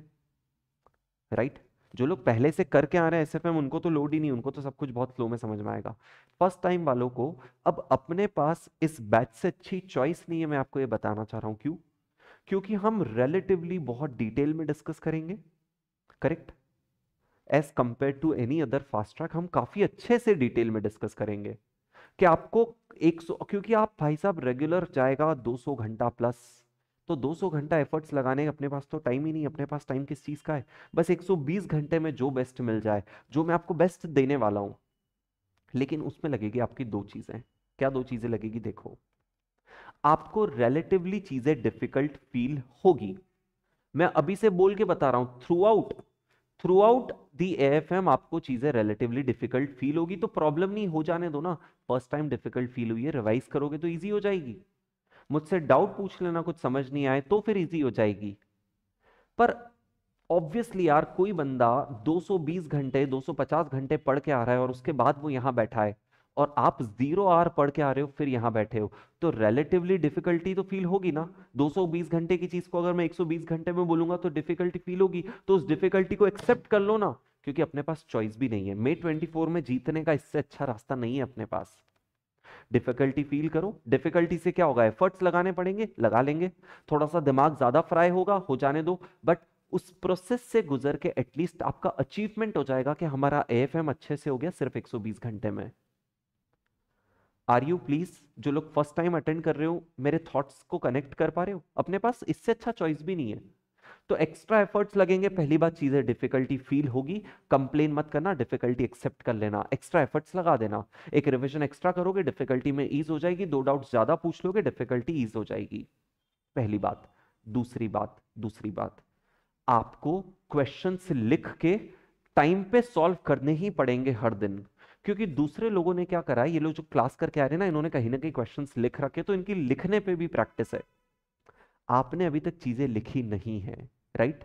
तो हम जो क्वेश्चन क्लास में कैलसी पर डिस्कस करेंगे स्टेप वाइज डिस्कस करेंगे उनको आपको उसी दिन रियल टाइम बेसिस पे लिखना है this is an additional task you will have to do to maintain the same level of confidence are you please understanding so that is what and that is how it is ultimate decision is yours i have explained you how can we do it and i have told you my intentions to be with you till the end all right Sumit fictitious asset का मतलब था अगर PNL का कोई debit balance है preliminary expense है तो ऐसा कुछ चीज है अब next class people in the class people in the class people in the lecture the next class is going to be on monday all right हमारी classes as you all know five days a week ही रहने वाली है Monday to Friday seven to nine with time I will try to increase the lecture timing but not now not surely in December और mid Jan cool चलिए तो अब आपकी permission दीजिए मुझे जाने दीजिए अपना अपना ध्यान रखिए खुश रहिए और वापस मंडे को आ जाइए लाइव ऑलराइट आगे के लेक्चर की डिटेल्स आपको टेलीग्राम पे मिल जाएगी whether it is going to be on the application which is obviously not available for public, only for paid students, ya fir on YouTube. Cool archana done. Bye everyone. Take care. Good night. apna apna dhyan rakhiye aur khush rahiye All right. Bye. और जिन जिन लोग अभी तक और like नहीं किया like करके जाना ठीक है नहीं तो भगवान पाप देगा